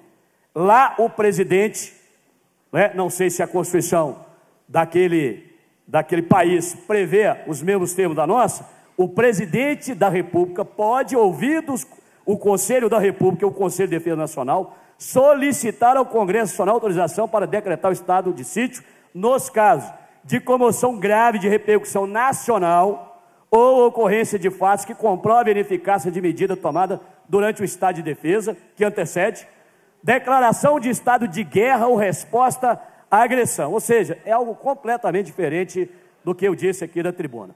O servidor vir para cá manifestar é um direito dele, tem que vir, tem que manifestar. Eu estou falando, Vossa Excelência, eu falei assim: olha, a PEC é inconstitucional, não dá para fixar piso salarial dos professores por PEC estadual, porque deputado estadual não tem competência para alterar o artigo 37 da Constituição Federal. Os professores vaiaram, xingaram, acharam que a gente estava contra. Votou. Aplicou? Não. E se for no judiciário, vai ser aplicado? Também não, vai tomar bomba. Por quê? Porque a lei é muito clara. Eu nunca vi deputado estadual impor né, alteração na Constituição da República. O que eu queria fazer? Momento adequado, deputado Cássio, eu estou esperando, estou esperando o momento adequado, e pelo contrário, eu só estou vendo a coisa caminhar por rumo diferente. Por rumo diferente. Olha, e eu faço um apelo a Vossa Excelência, deputado Cássio. Vossa Excelência tem este deputado, o deputado Coronel Sandro, o deputado Bruno Engler, o deputado Doutor Grilo, a deputada delegada Sheila, no mesmo bloco que Vossa Excelência lidera. Vossa Excelência apoia o projeto. Eu sei que Vossa Excelência apoia. Só que nós precisamos que Vossa Excelência faça um pouquinho mais enquanto nosso líder. Um pouquinho mais. Inclusive, comece a conversar com os demais líderes e o presidente dessa casa, dizendo: olha, lá no meu bloco, eu tenho cinco deputados que estão em permanente contato com o governo, buscando o cumprimento desses compromissos, porque é nós estamos lá, desde fevereiro. Desde fevereiro. É só o senhor perguntar aos demais colegas deputados. Então, momento adequado? Qual que é o momento adequado? É esperar o parlamento encerrar e não ter condições de pagar os servidores, deputado Betinho? Vossa Excelência assinou o requerimento comigo. Vossa Excelência assinou, e tantos outros assinaram, o deputado Noraldino assinou, por quê? Porque Vossa Excelência entende o seguinte: vão resolver o problema dos servidores, o deputado Carlos Henrique assinou, vão resolver o problema dos servidores Aí vão quer, quer obstruir? Para obstruir. Obstrui o regime de recuperação fiscal. Eu ajudo a obstruir, que eu não concordo. Aí vão discutir a venda da Copasa, da Semig. Vamos. Mas nesse projeto, nesse projeto, deputada Rosângela Reis, que prevê, que dá a garantia do pagamento, não. Presidente, eu quero fazer aqui um apelo, deputado, Vossa Excelência, Vossa Excelência está me pedindo a parte? Você está desviando da matéria que está em votação, presidente. Olha, não é. Sargento. Olha, primeiro que Vossa Excelência tem que pedir a parte a mim. Não, eu sei, mas a não, parte não, Vossa Excelência, não vai conceder. E quem pode fazer isso é quem está presidindo o eu parlamento. Eu estou pedindo ao presidente porque Vossa Excelência está desviando ah, da matéria desviando? que está em votação. Eu, eu gostaria, então agora nós vamos continuar a discutir todos os demais projetos. Eu pediria à mesa que traga o projeto que eu estou fazendo a discussão. Eu já falei, Vossa Excelência, mas, eu não tenho pressa de fazer discussão. Mas desde que Vossa, Vossa Excelência, Vossa Excelência se quiser, o projeto que está sendo deputado, votado. presidente da Assembleia, para suspender a reunião e buscar um acordo, tudo bem. Então nós vamos discutir. Então, presidente, presidente, nós vamos fazer a discussão. Antes de passar a discussão, concedo uma parte ao deputado Bruno Engler. Deputado Sargento Rodrigues, primeiramente gostaria de parabenizar Vossa Excelência pelo posicionamento, me solidarizar aqui com o deputado Coronel Sandro, tentaram cercear o seu direito de fala, que foi concedido pelos seus eleitores e ele tem legitimidade para aqui representá-los. E gostaria de falar aqui da importância desse projeto 1205. Vossa Excelência foi muito feliz quando falou que desde fevereiro estamos negociando com o governo melhores condições para os servidores da segurança pública e o governo colocou nas reuniões que, com a aprovação do projeto 1205, do adiantamento dos recebíveis da Codemig, eles vão fazer uma operação financeira que vai possibilitar colocar no quinto dia útil o salário não só dos servidores da segurança pública, mas de todos os servidores do Executivo Mineiro. E também o pagamento do 13º em 2019. E só me resta aqui lamentar a covardia do Partido dos Trabalhadores, que faz essa obstrução velada. Não tem nem o peito de fazer uma obstrução objetiva, como já foi feito por diversos parlamentares nessa casa, que diziam: vou obstruir porque sou contra. Porque eles dizem ser defensores dos trabalhadores, dizem ser defensores dos servidores, mas são defensores da sua ideologia e do seu projeto de poder. E se for necessário obstruir um projeto necessário para que os servidores tenham seu salário colocado em dia no quinto dia útil e possam receber ainda em dezembro 13 terceiro, eles fazem essa obstrução mascarada, aumentando o percurso do projeto, fazendo com que ele seja aprovado mais tarde e que o governo não consiga pagar o 13 terceiro esse ano e não demore mais para colocar o salário no quinto dia útil. Agradeço, deputado Bruno Engler. Indago ao deputado André Quintão se deseja fazer uma parte.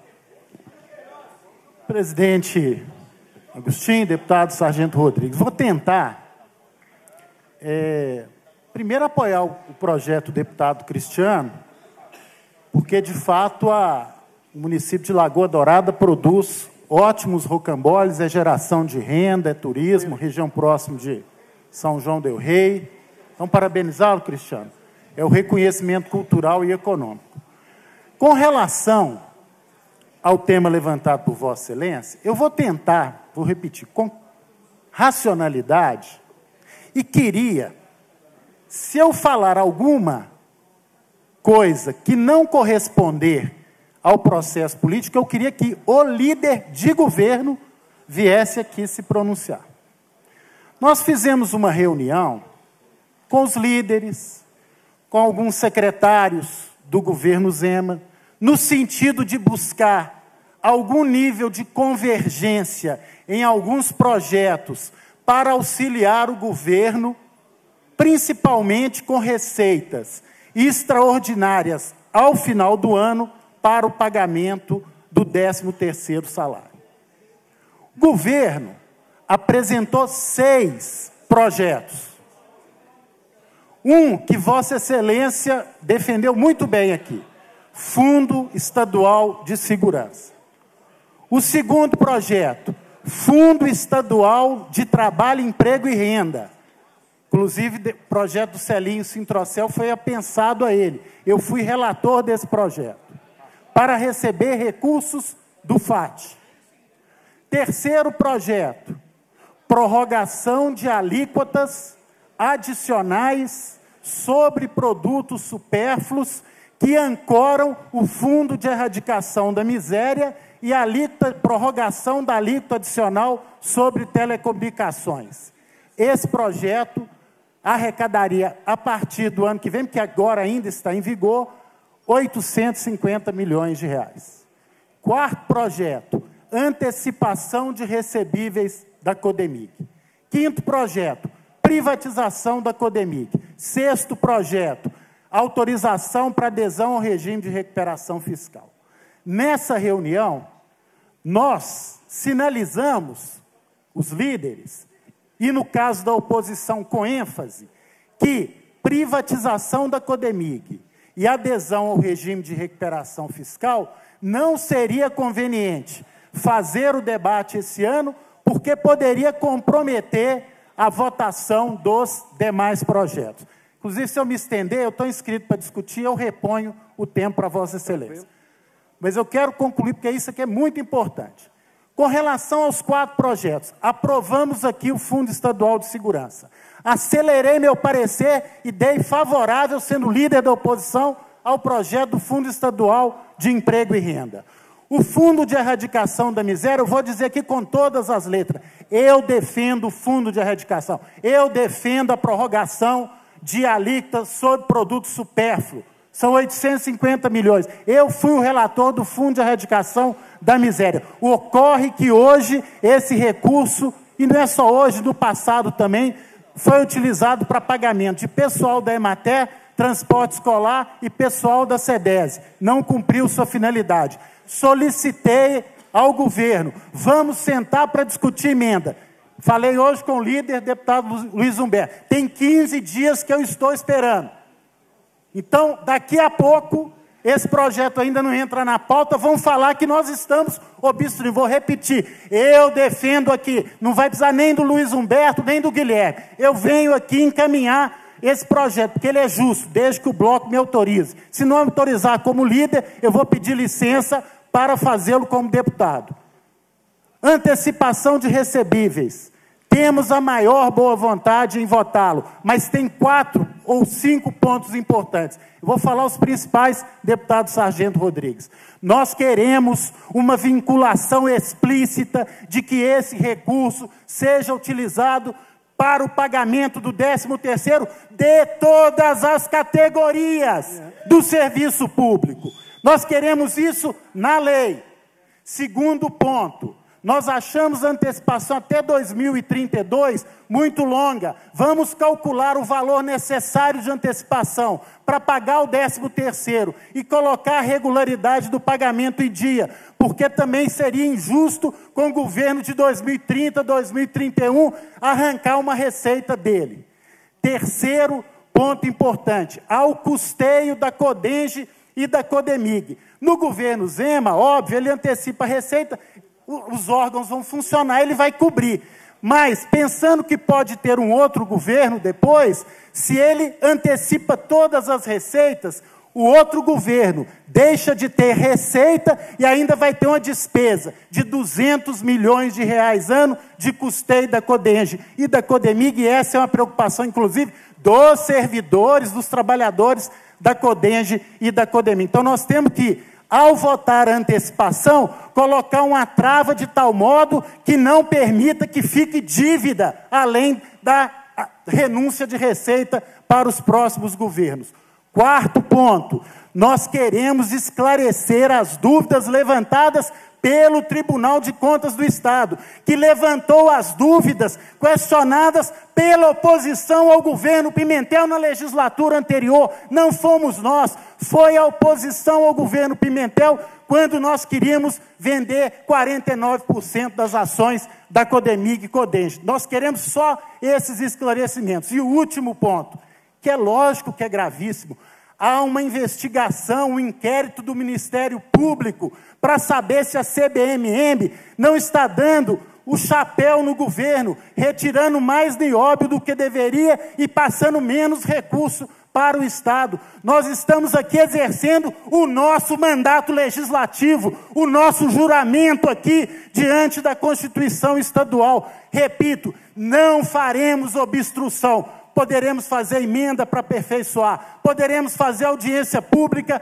para esclarecer. Vossa Excelência, deputado atuante, conhecedor do regimento interno, sabe que se aprova um requerimento para passar numa comissão, essa comissão pode convocar uma audiência 24 horas antes do que a outra comissão ou 24 horas depois. Se a gente for obstruir e não faremos isso, a gente faria obstrução em plenário, quando o projeto entra em discussão, quando cada deputado tem uma hora para discutir, quando fica seis reuniões aqui o projeto, quando se a gente quisesse obstruir, hoje aqui nós votamos um veto sem obstruir. Se a gente tivesse em tática de obstrução, a gente teria aqui 50 projetos para obstruir.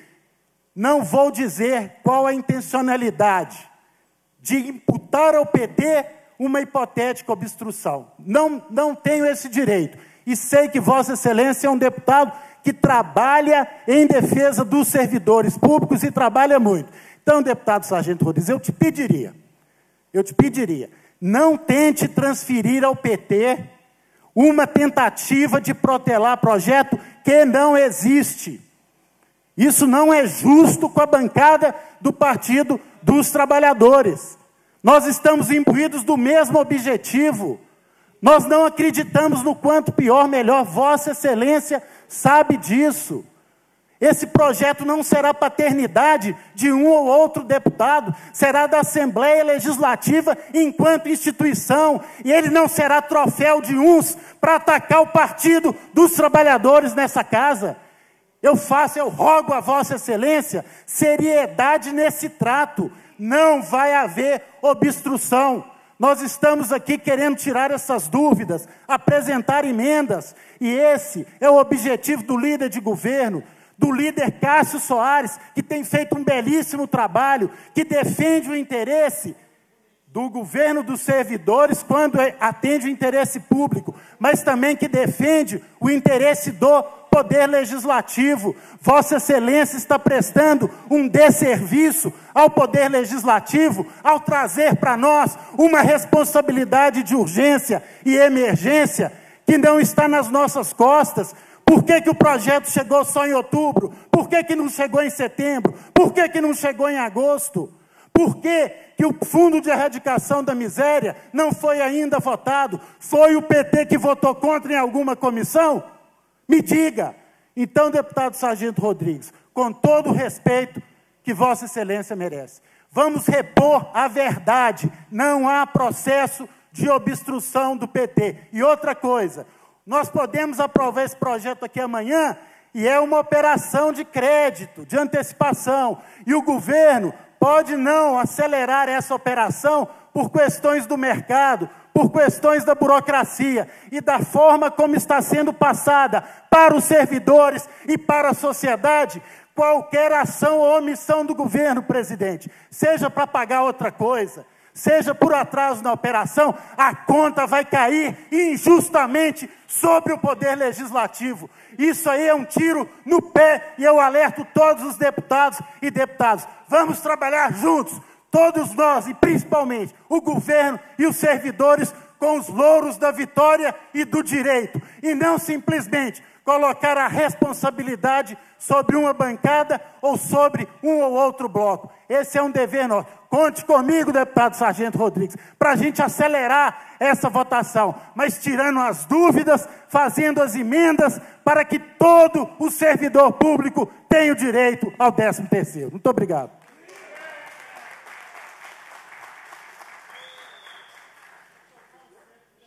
Eu queria, deputado André Quintão, dizer que quem assinou o requerimento foi o líder da minoria.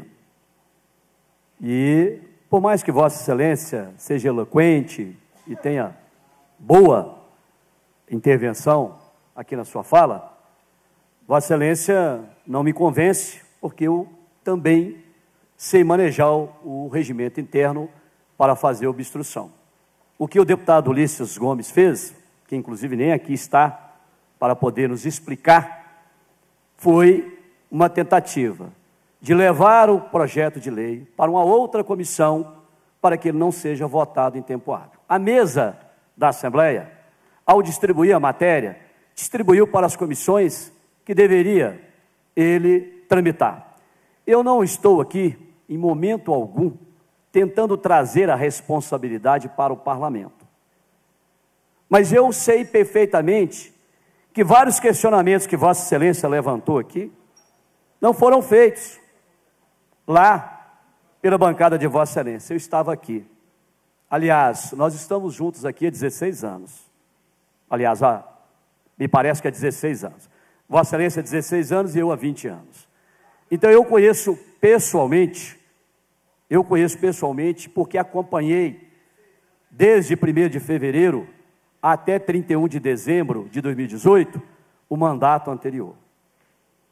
E eu vi aqui algumas preocupações. Vossa Excelência fala, nós queremos fazer emendas. Vossa Excelência quer, quer fazer o debate. Deputado Coronel Sandro, deputado Bruno Engler, deputada delegada Sheila. A tradução disso para um deputado que conhece o parlamento bem e o processo legislativo, em outras palavras, nós vamos obstruir utilizando o regimento interno. E eu volto a insistir. Eu sei manejar esse regimento interno. Agora, com relação a Vossa Excelência, eu sei que Vossa Excelência é um deputado sério, honrado e trabalhador, já disse isso várias vezes, em várias comissões. Diferentemente de um outro líder de governo que esteve aqui, que eu prefiro até nem declinar o nome de tanto nojo que eu tomei dele, de tudo que ele era capaz de fazer para defender o governo anterior. Vossa Excelência difere muito da pessoa desse cidadão. Muito. Mas neste caso, está claro que o líder da minoria quer prorrogar a discussão. E prorrogar a discussão neste momento, é fazer obstrução. Olha, o governo tem a sua responsabilidade sim. E eu disse a Vossa Excelência, já disse ao presidente Agostinho Patrus, no regime de recuperação fiscal, eu estarei aqui para obstruir.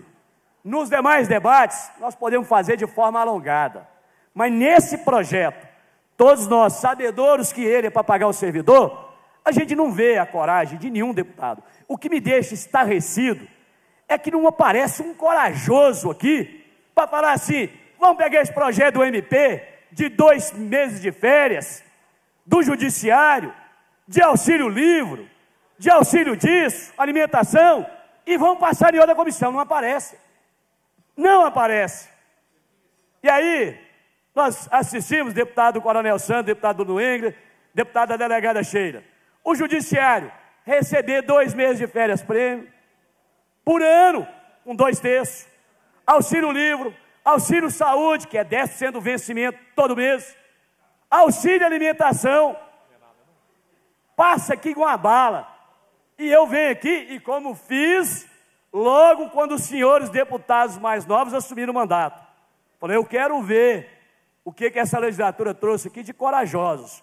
Na hora que chegar esses projetos aqui, desses que subjugam o parlamento, e não aparece o deputado corajoso para pegar aqui com a mãozinha e levar um requerimento falar, passa na outra comissão. Eu tentei baixar o projeto do MP em diligência apresentei o requerimento lá na Comissão de Fiscalização, deputado Guilherme, para baixar o projeto do Ministério Público, que era para pagar o miserê, 78 milhões, tomei pau lá na comissão. O, projeto, o requerimento foi reprovado na comissão. Aí por quê? Não, esse não pode. Ah, por quê? Porque uns têm caneta, né? Uns têm caneta para denunciar, outros têm caneta para condenar. Então não mexe aí não. Agora esse projeto não. Esse projeto é para pagar servidor. E com relação à vinculação, já vou adiantar a Vossa Excelência. O deputado Zé Reis, deputado Zé Reis, apresentou essa emenda lá e nós derrotamos ela. Ela foi derrotada na CCJ e na administração pública. Que emenda? A emenda vinculante que é para o pagamento. Sabe por quê, deputado Fábio Velar? Porque não pode. Legalmente, constitucionalmente, não pode. Porque o que o governo está fazendo? Uma operação financeira, uma antecipação. Ele pode dizer no texto da lei que é para pagar o servidor? Não. O que, que ele pode fazer? Ele pode dizer, olha, é para a Previdência. Aí pode? Pode. Está na lei? Está na lei. Então ele falou, é para a Previdência. E aí ele recebe o dinheiro, ele pega aquele dinheiro que ele tira do caixa 1 que mandaria para a Previdência e ele paga os servidores. Só que, diferentemente dos outros projetos do governo anterior, deputado Bruno Engler, esse projeto está na fundamentação. Está escrito nele, deputada Rosângela Reis. Estou encaminhando esse projeto para o pagamento do quinto dia útil, décimo terceiro e parcela única. E também ajudar a fazer o repasse aos municípios. Está escrito no projeto. Eu não quero, deputado, deputado André Quintão, eu quero trazer responsabilidade aqui para dentro do parlamento e isentar o governo, não. O governo tem. Só que há projetos e projetos. Se nós queremos travar uma queda de braço com o governo, vamos travar no regime de recuperação fiscal. Vossa Excelência vai me ver aqui na tribuna por várias vezes. Porque eu sei o quanto ele penaliza o conjunto dos servidores públicos. Agora, utilizar esse projeto, fazer obstrução nele, para que os servidores públicos, civis e militares, todos eles, se Vossa Excelência, eu pediria pediria à mesa, à assessoria da mesa, que pegasse o processo do projeto de 1205, se puder, só, só a mensagem do governo, eu farei questão de ler a mensagem. A mensagem é muito clara.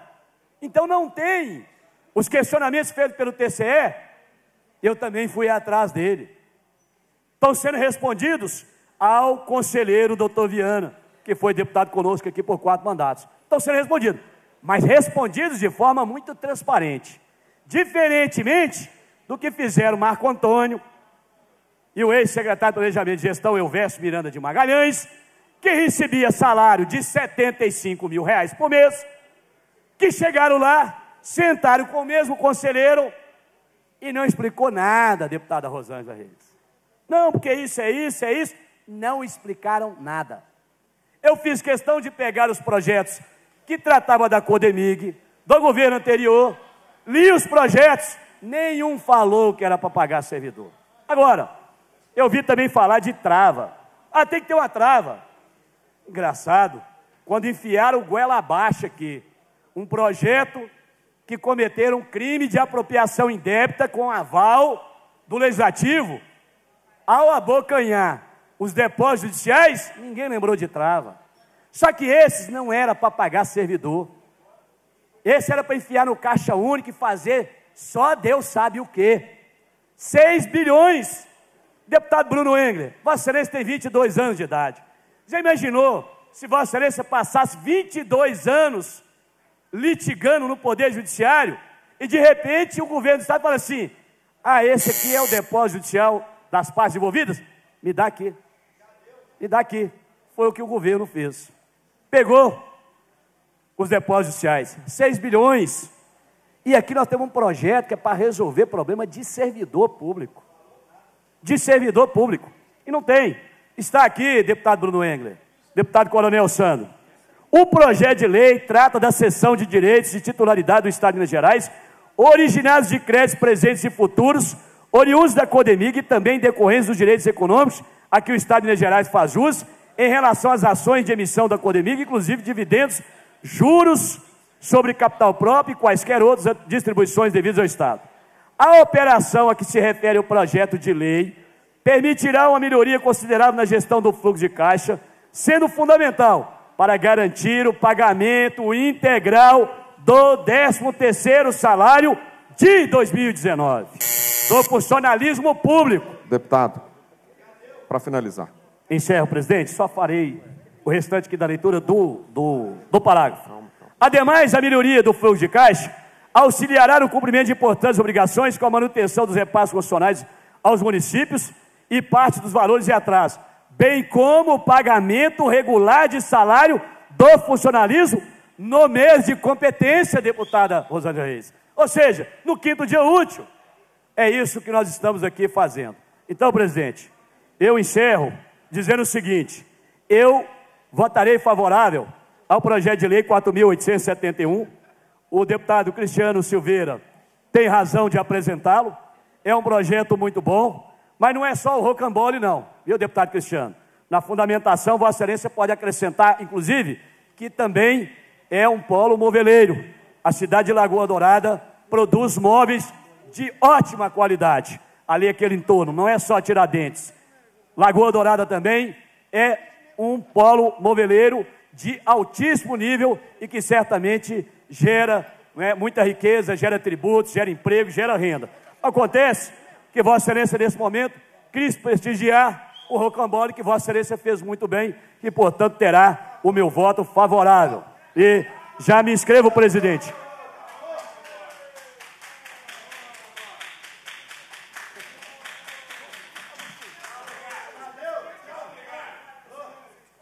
Presidente, é bom que Vossa Excelência tenha a clareza que quem preside o parlamento é Vossa Excelência. Vossa Excelência é que deve interromper o orador quando preside uma sessão, assim como o presidente da comissão interrompe quando está desviando, quando ele passou do tempo, mas é Vossa Excelência, não é a plateia que faz isso. E só para, só para deixar aqui o recado, já pode me escrever que eu vou continuar a discussão no próximo projeto. Obrigado, presidente. Obrigado, deputado Sargento Rodrigo. Sargento Rodrigues. Questiono aos Pela hora, senhor presidente. oradores aqui inscritos, é, André Quintão, Coronel Sandro e Bruno Engler, se irão manter a discussão e o pedido de discussão sobre o projeto de lei do deputado Cristiano Silveira. Deputado e presidente Agostinho, se houver um acordo entre todos nós para agilizar a votação da pauta, que contém projetos de todos os deputados e deputadas, eu abro mão coletivamente para que a gente, o debate que tinha de ser feito, eu acredito, já foi feito. Questiono o deputado Coronel Santos, deputado Bruno Engler, para que nós possamos dar continuidade à votação e, em conformidade ao artigo é, 159 do regimento interno, que durante a discussão o deputado não pode desviar-se da matéria em debate, dizer que a presidência vai é, verificar e atender a este artigo da, do regimento, para que nós não façamos protelar aqui a discussão de um projeto que me parece até certo ponto simples no seu, no, na sua discussão, para discutir outros projetos. Então, faço um apelo também ao deputado Coronel Sandro e ao deputado Bruno Engler, para que possamos dar continuidade à discussão do projeto de lei número 4.871 de 2017. Senhor presidente, todos sabem que eu tenho maior interesse em seguir com as votações aqui no plenário, diferente de talvez alguns aqui que sejam, talvez a palavra exata não seja essa, mas alguns aqui que não tenham a coragem de fazer uma obstrução ostensiva, eu em algum momento, se eu for entrar em obstrução, se eu for fazer obstrução, pode ter certeza que ela vai ser ostensiva, clara, declarada, como aqui agora. Eu sim gostaria muito de seguir, mas sem tirar o mérito e a importância de todos os projetos que estão aqui para serem votados hoje, que são realmente importantes. Mas, senhor presidente, nesse momento, enquanto não se tem uma definição de colocar em pauta para votar o projeto que vai garantir o 13º salário do funcionalismo e também o retorno do pagamento no quinto dia útil, eu acho que qualquer discussão que nós fizermos aqui, ela vai soar falsa. Porque o servidor, ele está recebendo, quando recebe, o salário parcelado. E aí, se ele não está podendo comprar nem arroz com feijão no prazo certo, como é que ele vai comprar rocambole, senhor presidente? Não tem. E como Lagoa Santa é também um polo, Lagoa Dourada, desculpa, como o deputado Sargento Rodrigues disse que é um polo moveleiro, se ele está precisando, presidente, renovar os móveis da sua casa para ir comprar um móvel lá em Lagoa Dourada, como é que ele vai fazer isso se ele não está recebendo o salário no dia certo? E uma outra coisa que é muito importante aqui, eu sou de Galiléia, cidade lá às margens do Rio Doce. Ah, a gente fala, eu sou da roça, tenho orgulho de dizer isso. Lugar maravilhoso. E lá, é, há muito tempo, falavam um enigma para a gente, acho que é enigma mesmo que chama, dizia assim: o que, que é que tem focinho de porco, mas não é porco, orelha de porco, mas não é porco, pé de porco, mas não é porco, pé de porco, é, rabo de porco, mas não é porco? É, tá, é feijoada. É só que a diferença é que o porco está morto na feijoada. Aí eu pergunto para Vossa Excelência: o que, que é obstrução mas não é obstrução. Tem atraso de votação, tem apresentação de audiência em comissão, mas não é obstrução. Tem discussão, utilizando todo o tempo do plenário e das comissões, mas não é obstrução. Isso tem um nome também, chama-se obstrução covarde, porque quem está fazendo não tem a coragem de mostrar a cara. E é isso que nós estamos falando aqui. Enquanto o deputado André Quitão, muito eloquente, na sua defesa da posição pessoal dele, que diz que vota, não fez vantagem nenhuma, porque todos aqui do Partido dos Trabalhadores falaram que votam, que votam. Só que, subrepticiamente, estão utilizando o regimento para protelar a apreciação desse projeto. E olha que nós não estamos falando aqui de um projeto que vai reconhecer Lagoa Dourada com o título da capital estadual do Rocambole que deve ser muito importante lá para Lagoa Dourada, mas nós estamos falando aqui, senhor presidente, da capacidade das famílias dos servidores públicos terem condições de honrar os compromissos do mês, de pagar leite, arroz, feijão, luz, água, telefone, escola dos filhos. É disso que nós estamos falando. E quando covardemente se adota uma obstrução aqui nessa casa, velada, porque não tem coragem de colocar a cara e dizer: eu vou obstruir. Porque se mostraram ao longo desses anos todos para o povo brasileiro e para os funcionalismo e para o funcionalismo público como defensores dos mais fracos, como defensores dos funcionários públicos, como aqueles que são os únicos que têm a sensibilidade de reconhecer a fragilidade das pessoas. E aqui vem descaradamente esse Partido dos Trabalhadores obstruir a votação de um projeto de lei que antecipa recebíveis da Codenig, que vai possibilitar que o governo do Estado conserte a cagada, desculpe a expressão, que o Partido dos Trabalhadores fez no governo passado. Me desculpe a expressão. Sabe por quê, senhor presidente?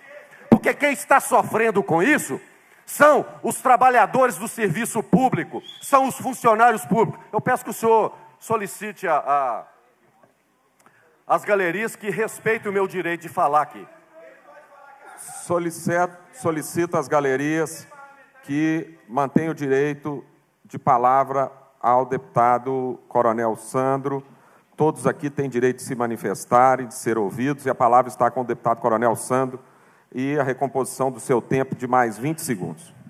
Muito obrigado, senhor presidente. Eu vou concluir. Eu só queria que deixasse bem claro aqui, presidente, bem claro. O Partido dos Trabalhadores está obstruindo a apreciação e a votação do projeto 1205, porque não quer que os servidores públicos de Minas Gerais recebam o salário no quinto dia e nem tenham outras possibilidades de recomposição salarial. Então, que fique bem claro, não venham com subterfúgio dizer que são a favor, porque nesse momento não são, pode ser até que mudem. E que o líder da minoria, o deputado Ulisses, protocolou um requerimento para que o projeto passe por mais uma comissão. Isso é obstrução, senhor presidente. É obstrução com o uso do regimento. Vossa Excelência irá abrir mão da sua palavra e o deputado Bruno Engler, senão passarei a palavra ao deputado André Quintão pelo tempo de uma hora. Tá, eu. Eu pediria ao senhor, é possível a gente fazer uma suspensão de cinco minutos para conversar? Pela ordem, senhor presidente. Com a palavra pela ordem, deputado Alencar da Silveira Júnior. Estou vendo aqui citar o, o, o colega de todos nós, é, Ulisses Gomes, eu gostaria de comunicar ao plenário a ausência do Ulisses Gomes nesse momento e mais cedo, que o deputado está na cidade de Ubá, no enterro do pai do Riane. Então ele teve obrigação, o grande companheiro aqui da casa, ele teve, o pai dele faleceu hoje e ia ser enterrado agora. O deputado Ulisses Gomes foi até a cidade é, de Ubá. Então, por isso, gostaria de comunicar esse plenário a ausência do deputado Ulisses Gomes, salvo engano, o deputado João, João Magalhães, que os dois estão naquela casa, naquela cidade representando a Assembleia. Obrigado. Convoco os líderes à mesa para entendimentos e suspenderemos por cinco minutos as, a nossa reunião. Suspensos os trabalhos aqui. A minha família. Você acompanha a audiência pública da Comissão de Cultura, direto do auditório da Assembleia Legislativa. E nós voltamos a transmitir aqui do plenário da Assembleia a reunião ordinária desta quarta-feira, que tem 25 projetos em pauta. Desses projetos, seis já foram analisados, já foram votados e faltam 19. E neste momento está sendo feita a recomposição de pauta para reinício dos trabalhos que estavam suspensos por alguns minutos. Vamos acompanhar a reunião. Carlos Pimenta, Cássio Soares, Celinho Sintrocel, Celise Laviola, Charles Santos, Cleitinho Azevedo, Coronel Henrique, Coronel Sandro, Dalmo Ribeiro, Delegada Sheila, Delegado Eligrilo, Dorgal Andrada, Douglas Melo, Doutor Jean Freire, Doutor Paulo, Doutor Wilson Batista, Duarte Bechir, Elismar Prado, Fábio Avelar, Fernando Pacheco, Gil Pereira, Glaicon Franco, Guilherme da Cunha, Gustavo Mitre, Gustavo Santana, Gustavo Valadares, Eli Tarquínio, Inácio Franco, Ione Pinheiro, João Leite, Presente, seu secretário. João Magalhães, João Vitor Xavier, Laura Serrano, Leandro Genaro, Leninha, Léo Portela, Leonídio Bolsas, Luiz Humberto, Marília Campos, Mauro, Mário Henrique Caixa, Marquinhos Lemos, Mauro Tramonte, Neilando Pimenta, Noraldino Júnior, Oswaldo Lopes, professor Cleiton, professor Irineu, professor Wendel Mesquita, Raul Belém, repórter Rafael Martins, Roberto Andrade, Rosângela Reis, Sargento Rodrigues, Sávio Souza Cruz, Tiago Cota, Tito Torres, Ulisses Gomes, Virgílio Guimarães, Zé Guilherme, Zé Reis.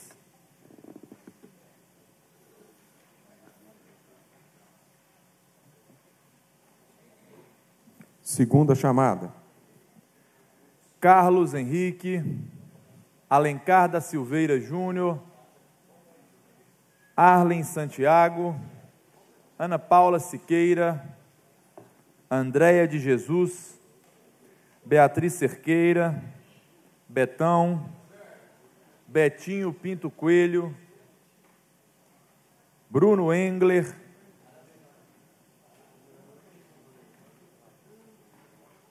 Celise Laviola, Coronel Sandro,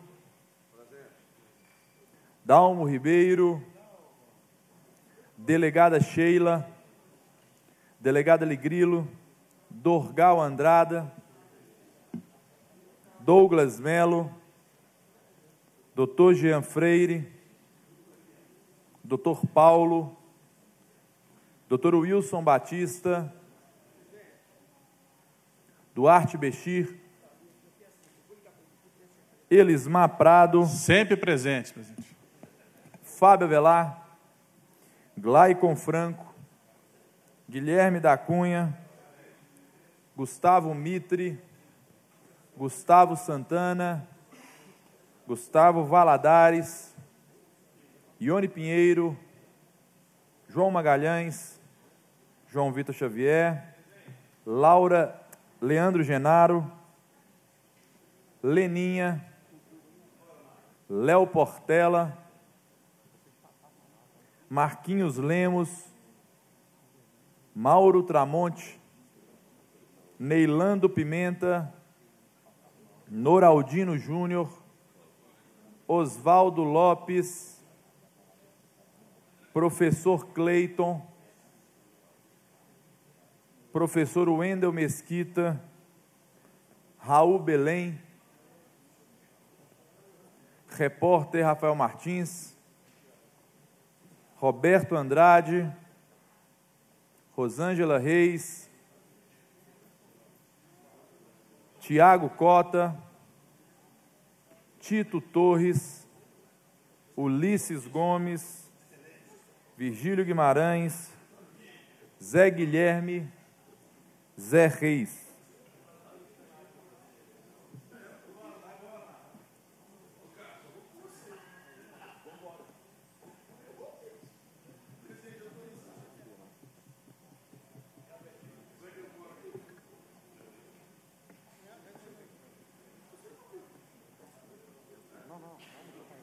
Presidente, nós temos 38, 39 senhores e senhoras é, deputados aqui presentes.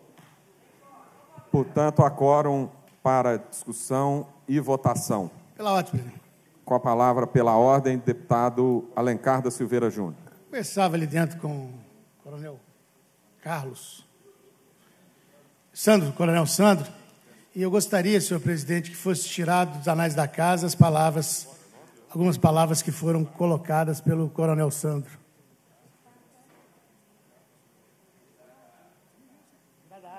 É regimental, solicito a assessoria da casa a retirada dos termos é, não regimentais. Questiono, como fiz anteriormente, antes da nossa interrupção, tem direito à fala para discutir os deputados João Leite, André Quintão, Coronel Sandro e Bruno Engler. Se os mesmos vão discutir o projeto do deputado Cristiano Silveira ou continuaremos a votação. Portanto, com a palavra para discutir, deputado João Leite.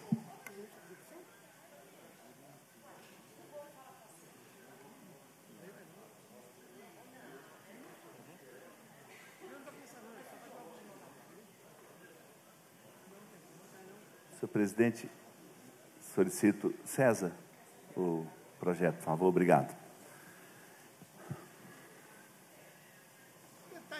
Senhor presidente, senhoras deputadas, senhores deputados, nós, antes de entrar no mérito aqui deste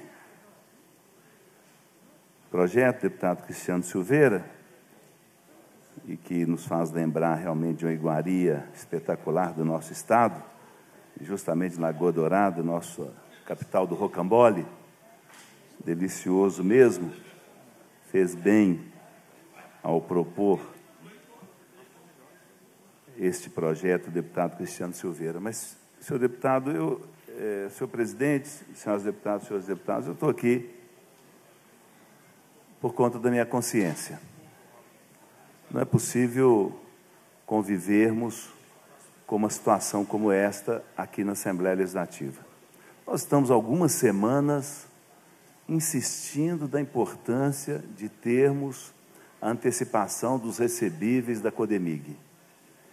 E eu não era muito afeito a isso, mas me lembra aqueles goleiros que o time está ganhando e começa a fazer uma grande cera uma cera. A Assembleia, nesse momento, está fazendo uma cera. A gente não está entendendo bem o que, que está acontecendo. Do lado de fora, eu sinto, por ter na família muitos servidores públicos, e que querem receber o seu décimo terceiro, querem receber o dinheiro até o quinto dia útil do mês, e nós aqui na Assembleia fazendo essa cera. Quando é que nós vamos votar?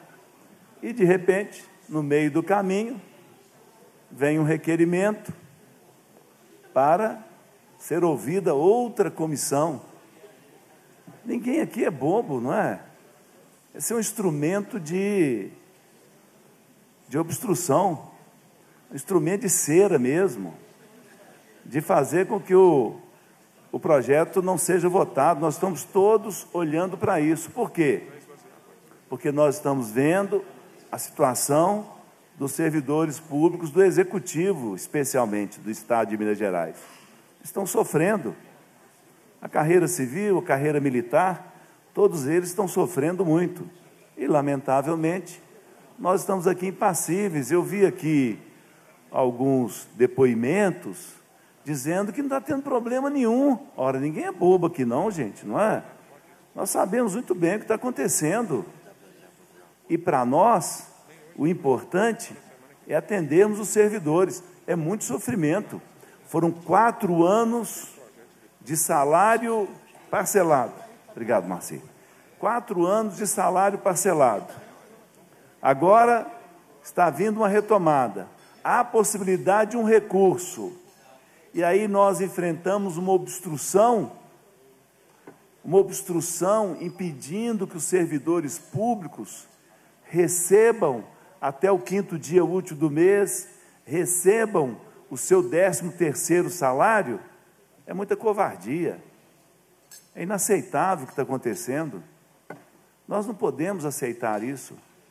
E não adianta, não, ninguém vai me convencer de que está certo, de que semana que vem, eu já tinha ouvido isso, essa semana a gente ia resolver.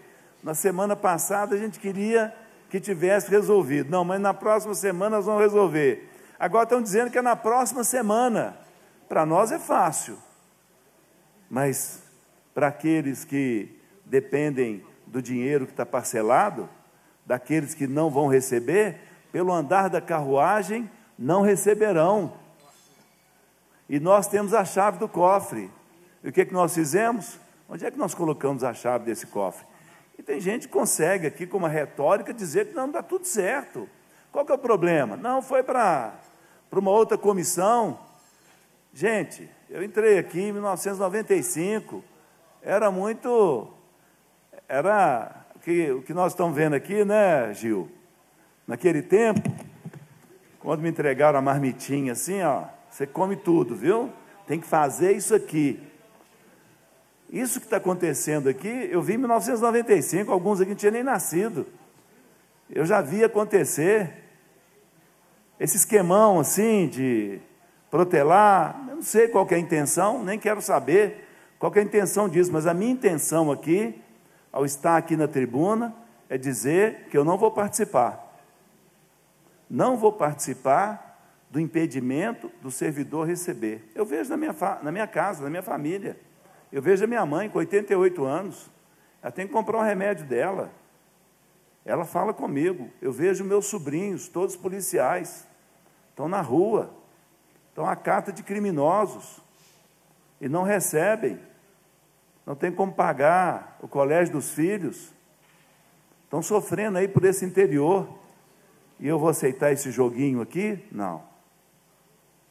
Se tem uma se tem projetos importantes para votar, vamos votar os projetos todos. Mas vamos votar a possibilidade do servidor público receber. Eu estou aqui em nome da minha mãe, em nome dos meus sobrinhos, em nome dos servidores públicos do Estado de Minas Gerais. Eu sou filho de dois servidores que sofreram nesse Estado. Sofreram. E agora tem dinheiro e nós não vamos tomar uma atitude e votar? Vamos ficar aceitando esse joguinho? Hein, Elencar? Não vão lembrar os nomes, não, mas aqueles campeões que a gente tinha aqui, não é? Os caras sabiam tudo, né? E a gente olhando para aquilo. De repente aparecia uma caixa para a gente votar, né? Vinha aquela caixa, a gente não sabia qual seria o resultado da caixa. Não dá, eu não vou participar e, e vou trabalhar para que a gente. Qual que é o acordo? Vamos votar, gente. Vamos votar os recebíveis, vamos pagar o servidor. Os enfermeiros estão lá no João 23 agora. Outro dia chegaram três pessoas, uma 65% queimada, outra 100% queimada. Estão lá trabalhando na hora dessa. E nós vamos fazer cera nesse jogo? Não, eu não vou participar. E vou lutar contra isso, e vou lutar para que o servidor tem à disposição dele, o governo tem à disposição esse dinheiro para pagar o servidor público. Eu ouço com muito prazer o líder deputado Duarte Bexi. Ok, agradeço a Vossa Excelência a oportunidade do aparte, senhor presidente, senhoras e senhores deputados. É, o que nós precisávamos compreender, eu acredito que a totalidade dos parlamentares, é o que de fato ocorreu, que está gerando esse conflito. Ao que parece, o PL 1205 estava pronto para votar. Não voltaria esse PL às comissões. E o requerimento que foi aprovado depois de um acordo de líderes vai voltar o PL 205 na Comissão de Minas e Energia e esse projeto de lei poderá, voltando à comissão, atrasar o pagamento de funcionários. Até aí é o que nós estamos compreendendo. Acho que todos nós aqui compreendemos que o que aconteceu foi isso. A aprovação desse requerimento, segundo o que está sendo colocado, além de ter contrariado um acordo de líderes, ele foi aprovado num bojo de requerimentos que tão somente esses requerimentos seriam apreciados oriundos daquele trabalho da Assembleia Fiscaliza. Era um conjunto de requerimentos que as diversas comissões criaram e seriam estes requerimentos, tão somente estes aprovados, e no meio tinha esse requerimento que remete o PL 205 à comissão. Então eu acho presidente Agostinho, senhoras e senhores, nós estamos diante de um conflito e que o fim nós já estamos prevendo aqui. Se cada orador ficar uma hora que tem direito, nós vamos ficar aqui e os projetos de lei dos deputados, meu de outros, não serão apreciados. Mas eu entendo que o meu projeto de lei não é maior, nem melhor, nem mais importante do que o pagamento dos funcionários. Eu abro mão do meu PL. Eu tenho aí o projeto de lei. E Vossa Excelência lembra que na discussão aqui da reforma administrativa, eu entrei com o PL que a Codemig, já tendo recebido todo o recurso dos empresários que adquiriram o terreno, não tendo eles conseguido, dentro do prazo que a Codemig estabeleceu para implantar a sua empresa, a Codemig pega o terreno do empresário e agora vai doar para a prefeitura, que não entrou com nada, e nós estamos dizendo para a Codemig: olha, a senhora agora pode sim entregar o lote para quem tem direito, para quem pagou. É esse o meu projeto de lei. É importante demais muito importante. Mas eu estou falando de quantos mil empregados, funcionários do Estado que antes de, de devolver o, o terreno. Então, eu acho que nós estamos brigando aqui por algo que é muito importante e que o que gerou essa briga, esse conflito, não é normal. Se é que aconteceu dessa forma, não é normal. Acordo se cumpre. Já falava lá no interior de onde eu sou, que é preferível é vermelhado que amarelado depois. É? Então se cumpre. Então, então o que, que eu proponho aqui? O presidente é muito sensato, o presidente já está nessa casa, a trajetória de vida da família já dirigiu essa casa. O presidente é uma pessoa de ouvir, de diálogo. Esse embate que nós estamos travando aqui, já tem deputados que foram trabalhar, o Caixa tem que transmitir, outros já foram, e nós estamos aqui esperando algo que não vai acontecer do jeito que está. Não vai. O que, que eu quero pedir a Vossa Excelência, ao deputado o Sargento Rodrigues? O sargento diz aqui para todos nós que houve a reunião de líderes e que ele não fora comunicado do que se sucedera na reunião. Ele é o proponente da discussão, é o, é o que envolveu primeiro o debate e não tomou nenhum conhecimento do que se aconteceu e viemos para cá sem treinador. Eu estou sem treinador. Eu não tenho um treinador aqui para me dizer, falar, oh, não, vamos votar daqui a pouco colocando o presidente em dificuldade, o presidente é que coordena os trabalhos, e nós aqui esperando o que, que vai acontecer. Então, o que, que eu proponho? Já aconteceu uma reunião, não deu certo, então não se pode continuar os trabalhos tendo em vista no nosso meio esse embrião que foi colocado que não estava no lugar. É? Nós temos tempo, temos aí quantos dias para encerrar o mês? É muito importante discutir e resolver primeiro o embrião que foi colocado fora do tempo, fora do lugar, fora do acordo. É a minha contribuição, deputado João Leite. Eu espero que os demais pares que estão querendo opinar, falar, eu acho que queriam também opinar dessa forma, porque continuar aqui, ouvindo a discussão do doce, do rocambole, mas que atrás do rocambole esconde quantos mil funcionários que esperam receber, esconde um acordo não cumprido, isso tem que ficar claro. Resolver isso primeiro para depois voltar ao rocambole. Muito obrigado. Obrigado, deputado Duarte Bexi, sempre muito equilibrado, né? buscando o entendimento. Eu creio que o deputado Duarte Bexi falou no ponto, né? Havia um acordo, né? Eu estava muito tranquilo. Meu querido amigo, meu líder, Eli Tarquini, chegou na animação hoje para colocar o projeto na pauta. Na hora que ele viu, com toda a experiência dele, nosso decano, já não estava com ele mais, não estava com, não estava com ele mais. Com muito prazer eu ouço o líder, deputado João Vitor Xavier. Meu querido amigo, deputado João Leite, eu acho que nós estamos precisando de um pouco mais de equilíbrio coletivo nessa casa. Aqui não tem marechal, general, coronel, sargento, cabo. Aqui é uma instituição civil. E numa instituição civil não tem hierarquia, não tem mais deputado ou menos deputado, não tem quem é mais ou menos do que o outro aqui. O presidente que ele está sentado à minha frente nada mais é do que uma representação desse coletivo, eleito por nós. Aqui somos todos iguais. E nós não podemos construir uma relação nessa casa com um sentimento hierárquico ou de subordinação por parte dos deputados. Eu não me considero aqui menos preocupado com o funcionalismo público que nenhum deputado. Não considero que tenha deputado aqui nenhum que se preocupe mais com o funcionalismo público que eu, ou que tenha munus público maior do que o meu. Como também não considero que nenhum aqui tem menor. Somos todos iguais, respeito o mandato de todo mundo. E todo mundo tem que respeitar o mandato do outro. O que não dá para criar aqui é o sentimento seguinte: quando eu considero que é importante a obstrução, é legítimo. Quando o outro considera que é importante, é desleal. Eu estou cansado de ver deputado aqui fazendo obstrução. Cansado de ver. Já ajudei, já participei, já tive do lado solidário. Que coisa é essa? A obstrução de um é mais legítima do que a do outro? Aqui ninguém é boi para ser tocado. Aqui as coisas têm que ser feitas no diálogo, na construção, no respeito aos pares e no respeito aos colegas. Falo isso, deputado João Leite, como o único deputado do PSDB na legislatura passada que não participou da judicialização da questão da Codemig. Eu não assinei. Eu não assinei a judicialização. Então a minha postura ela independe de governo. Eu, no governo passado, não judicializei. E nesse governo, mesmo não sendo a base de apoio, estou pronto para votar. Estou pronto para ajudar. O que for bom para o Estado de Minas Gerais. Eu não judicializei essa questão no governo passado, porque esse mesmo projeto da Codemig estava aqui para ser votado no governo Pimentel, ou a casa já esqueceu disso?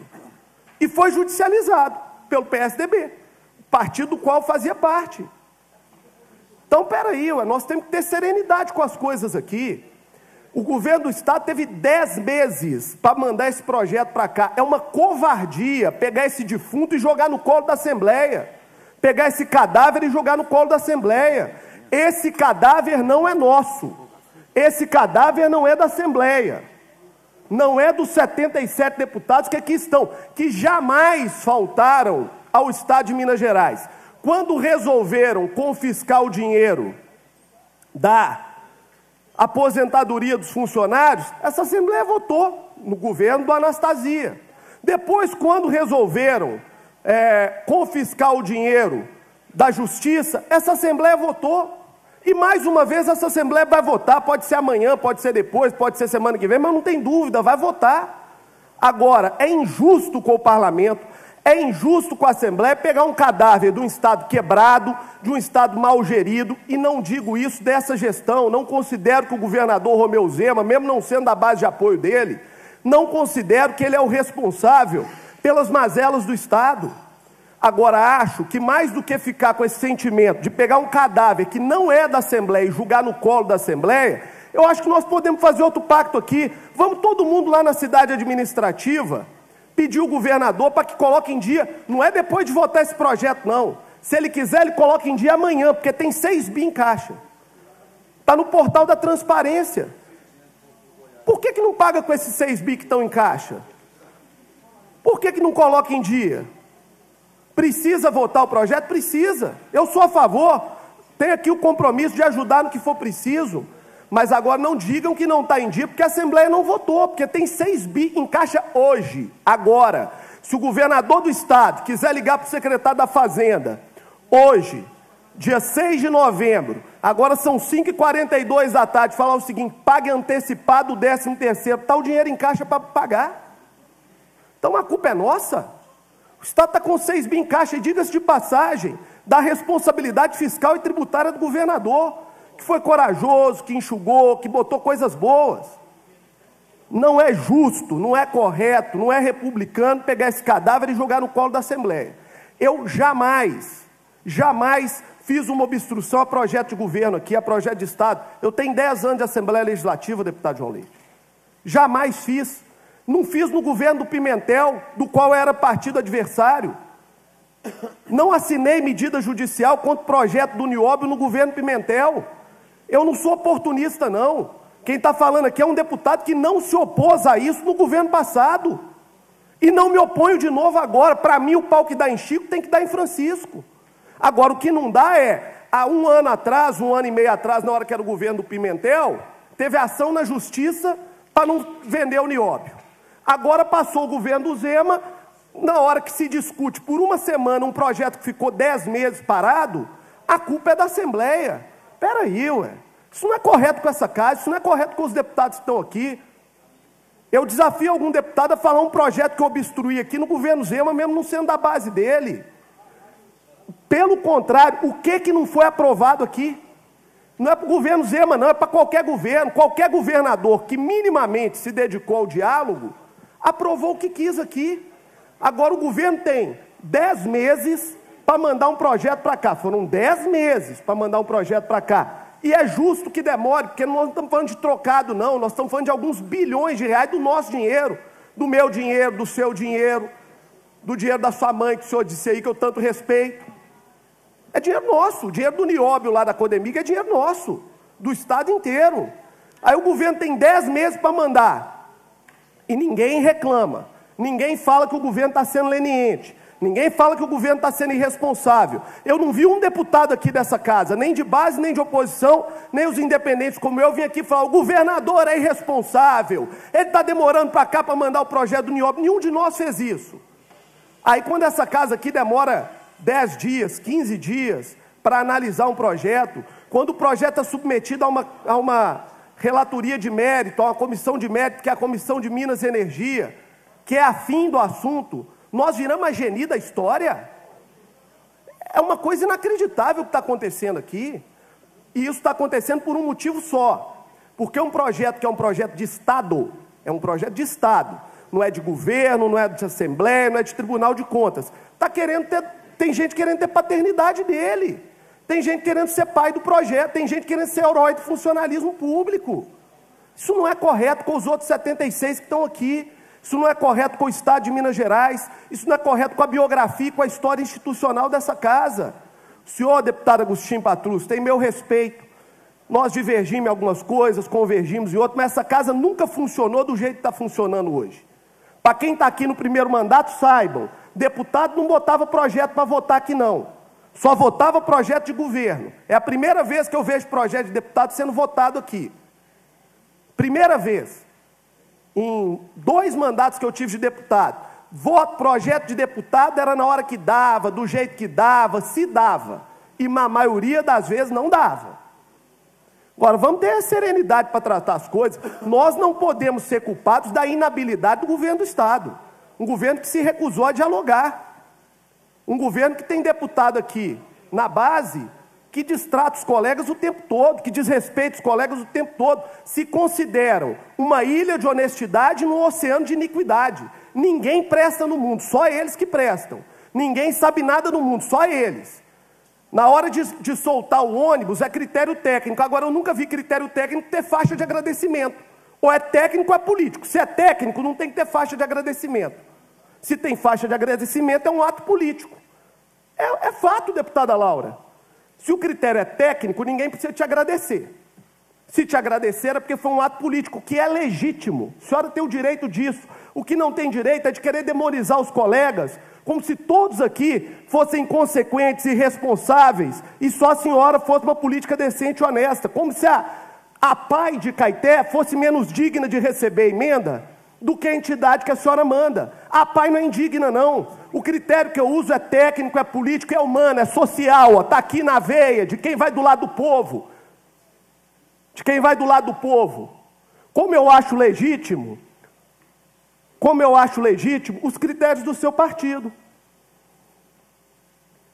Como eu acho legítimo, por exemplo, as ideias do Partido Novo de dialogar com as pessoas, deputado, da elite da alta casta de Belo Horizonte. O que eu não acho legítimo é empresário estar tá sentado em reunião de secretariado. Isso não é legítimo, isso não passa em compliance nenhum. Nenhum. Eu queria entender por que empresário senta em reunião de secretariado. Isso eu gostaria de compreender.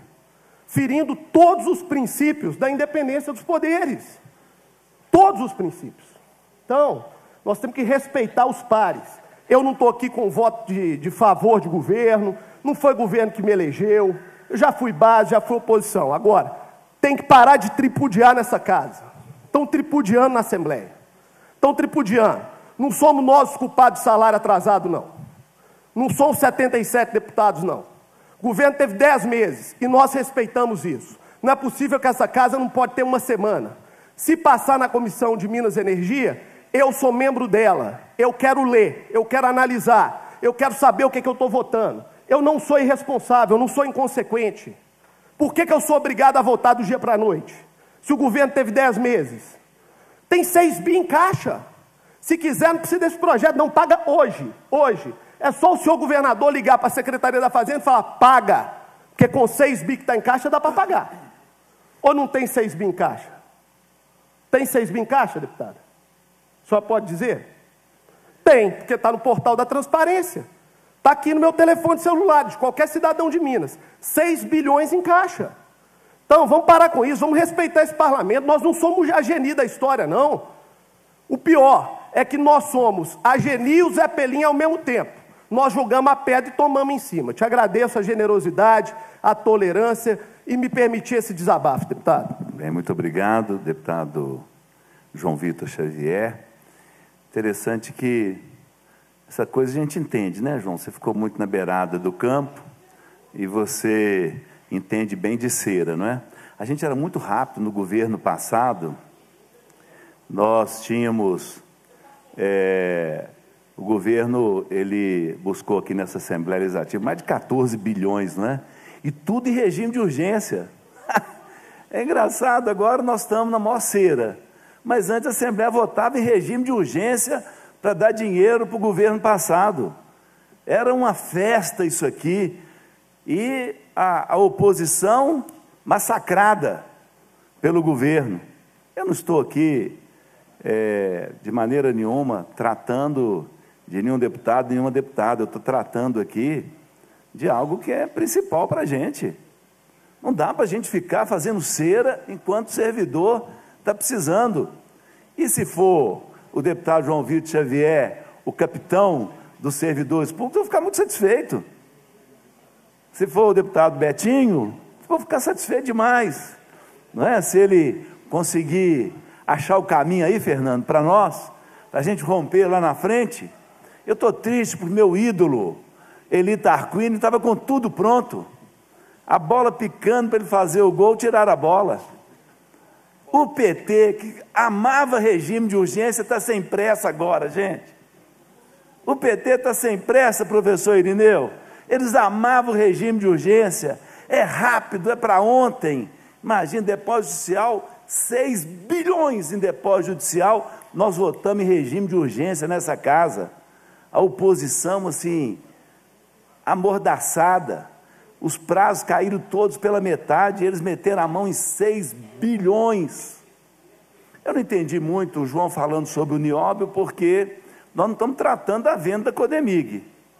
Nós estamos tratando de antecipação de recebíveis. É isso que nós estamos tratando, alto lá. Não é? Nós precisamos de recurso para pagar os servidores. Nós estamos precisando de recurso para pagar o servidor público. É isso que nós estamos precisando urgente.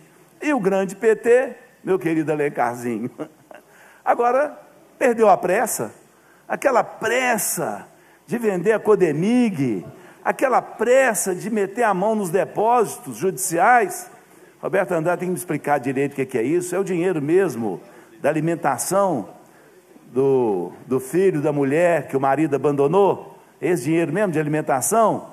O PT meteu a mão nesse dinheiro, 6 bilhões em regime de urgência. E agora estamos nessa paradeza aqui. E a gente ainda é acusado de, de querer ter pressa, só tem 10 dias. É para ontem, gente. O servidor está passando dificuldade, gente, é para ontem. Ontem. Irmão Charles, é para ontem, irmão. Como é que a palavra diz? Se você tem hoje, vai dizer para o diarista, para o jornaleiro, que amanhã você vai ver se você tem, se você tem já.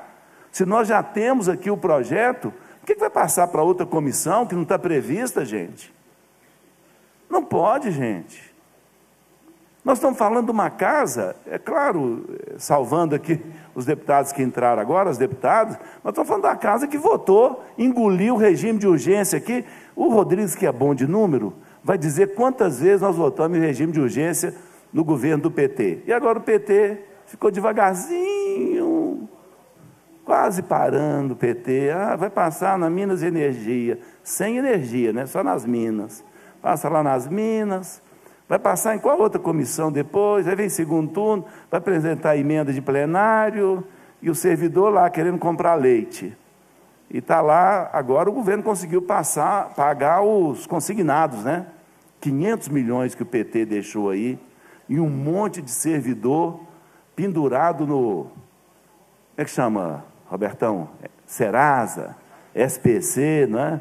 Chegou lá, o servidor não pagou porque o PT não pagou a conta, pegou o dinheiro não pagou a conta. E agora perdeu a pressa o PT. Ouço com muito prazer, deputado Sargento Rodrigues. Deputado João Leite, eu queria cumprimentar Vossa Excelência. Vossa Excelência, de forma muito tranquila, muito serena, traz aqui novamente luz, né, como é da própria áurea de Vossa Excelência, trazer essa luz aqui nesse debate, né, para que o, o debate fique mais iluminado. Imagine Vossa Excelência que eu fiquei muito indignado quando eu tomei conhecimento. Eu tomei conhecimento hoje. O requerimento do deputado Ulisses Gomes foi protocolado no dia 30 de 10 de 2019. Bom, se foi protocolado no dia 30 de 10 e hoje é dia 6, então esperou o momento adequado. O momento em que um deputado do PT presidia a sessão para fazer uma votação simbólica que nós tínhamos acordado, não sei se o colega deputado Duarte Bexi, ele que iniciou aqui o aparte a Vossa Excelência, ele trouxe esse fato. E aí, na hora que o deputado do PT senta na cadeira de presidente, rapidamente eles aprovam o requerimento. Olha, é, eu, diferentemente, deputado João Leite, eu movi ação popular para impedir a, que a Codemig fosse vendida. E por que, que eu impetrei ação popular? Eu, individualmente. Porque eu não queria que caísse na mão de uma quadrilha que estava instalada lá no governo do PT. Por isso, às vésperas de uma eleição, que estavam querendo torrar por 2 bilhões para enfiar na campanha. Olha, e eu dou nome. Se quiser, eu falo aqui o nome da quadrilha toda que estava lá. Então, o senhor, como cidadão, tem para impetrar uma ação popular apenas o título de eleitor, é a condição que o senhor tem para impetrar uma ação popular, deputado Charles Santos. O senhor tem título de eleitor? Tem. Está em dia? Tá, então o senhor pode entrar com ação popular. Entrei com ação popular, deputado João Leite, para cobrar do governo passado os 3 bilhões que eles desviaram do IPSM. 3 bilhões de reais. Agora, hoje nós não temos uma quadrilha instalada no governo. E eu não sou deputado da base de governo. Mas não temos. Então eu não vou entrar. Pelo contrário, renunciei. Renunciei à ação popular. E, mesmo quando eu fui deputado da base de governo aqui, deputado Charles Santos, deputado João Leite cansou de passar raiva comigo, deputado Luiz Gilberto, vários deputados, deputados da base de governo aqui, ó, ficavam com raiva de mim, porque os servidores públicos eu não mudava minha posição.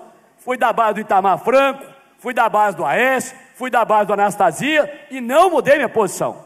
A minha posição pró-servidor público é a mesma. Nunca votei contra servidor público, nunca obstruí projeto de interesse servidor público, mesmo sendo da base.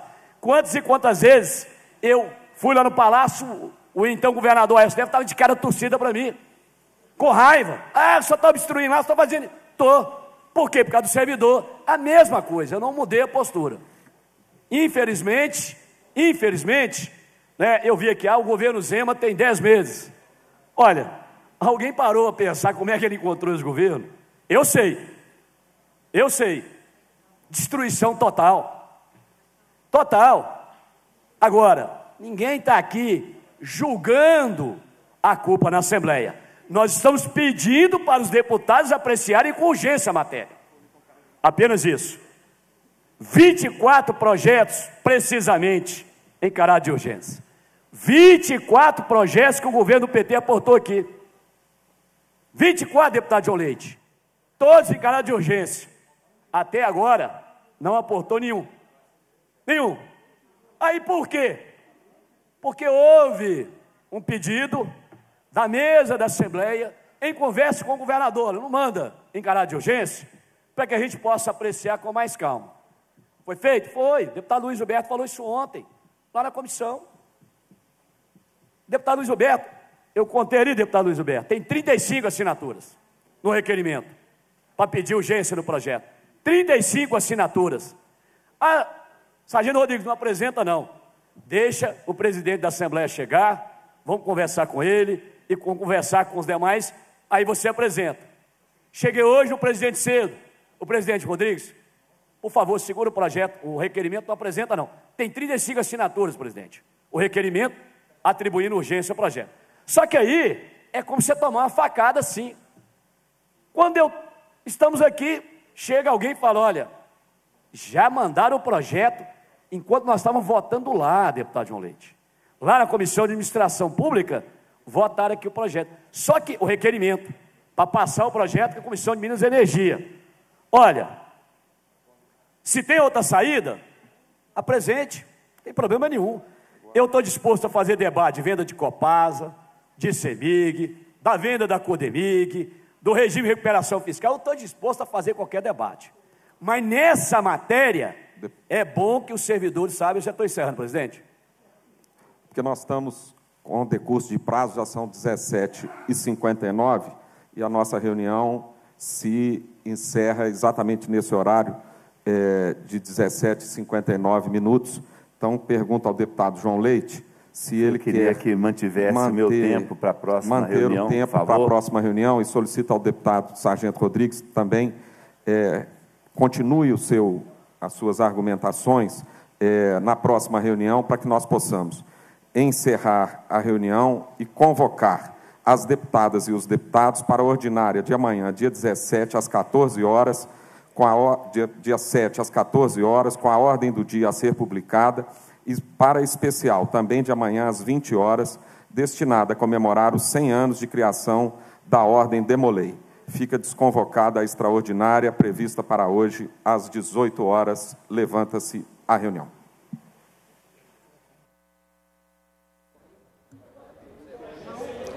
Você acompanhou a reunião ordinária desta quarta-feira, direto do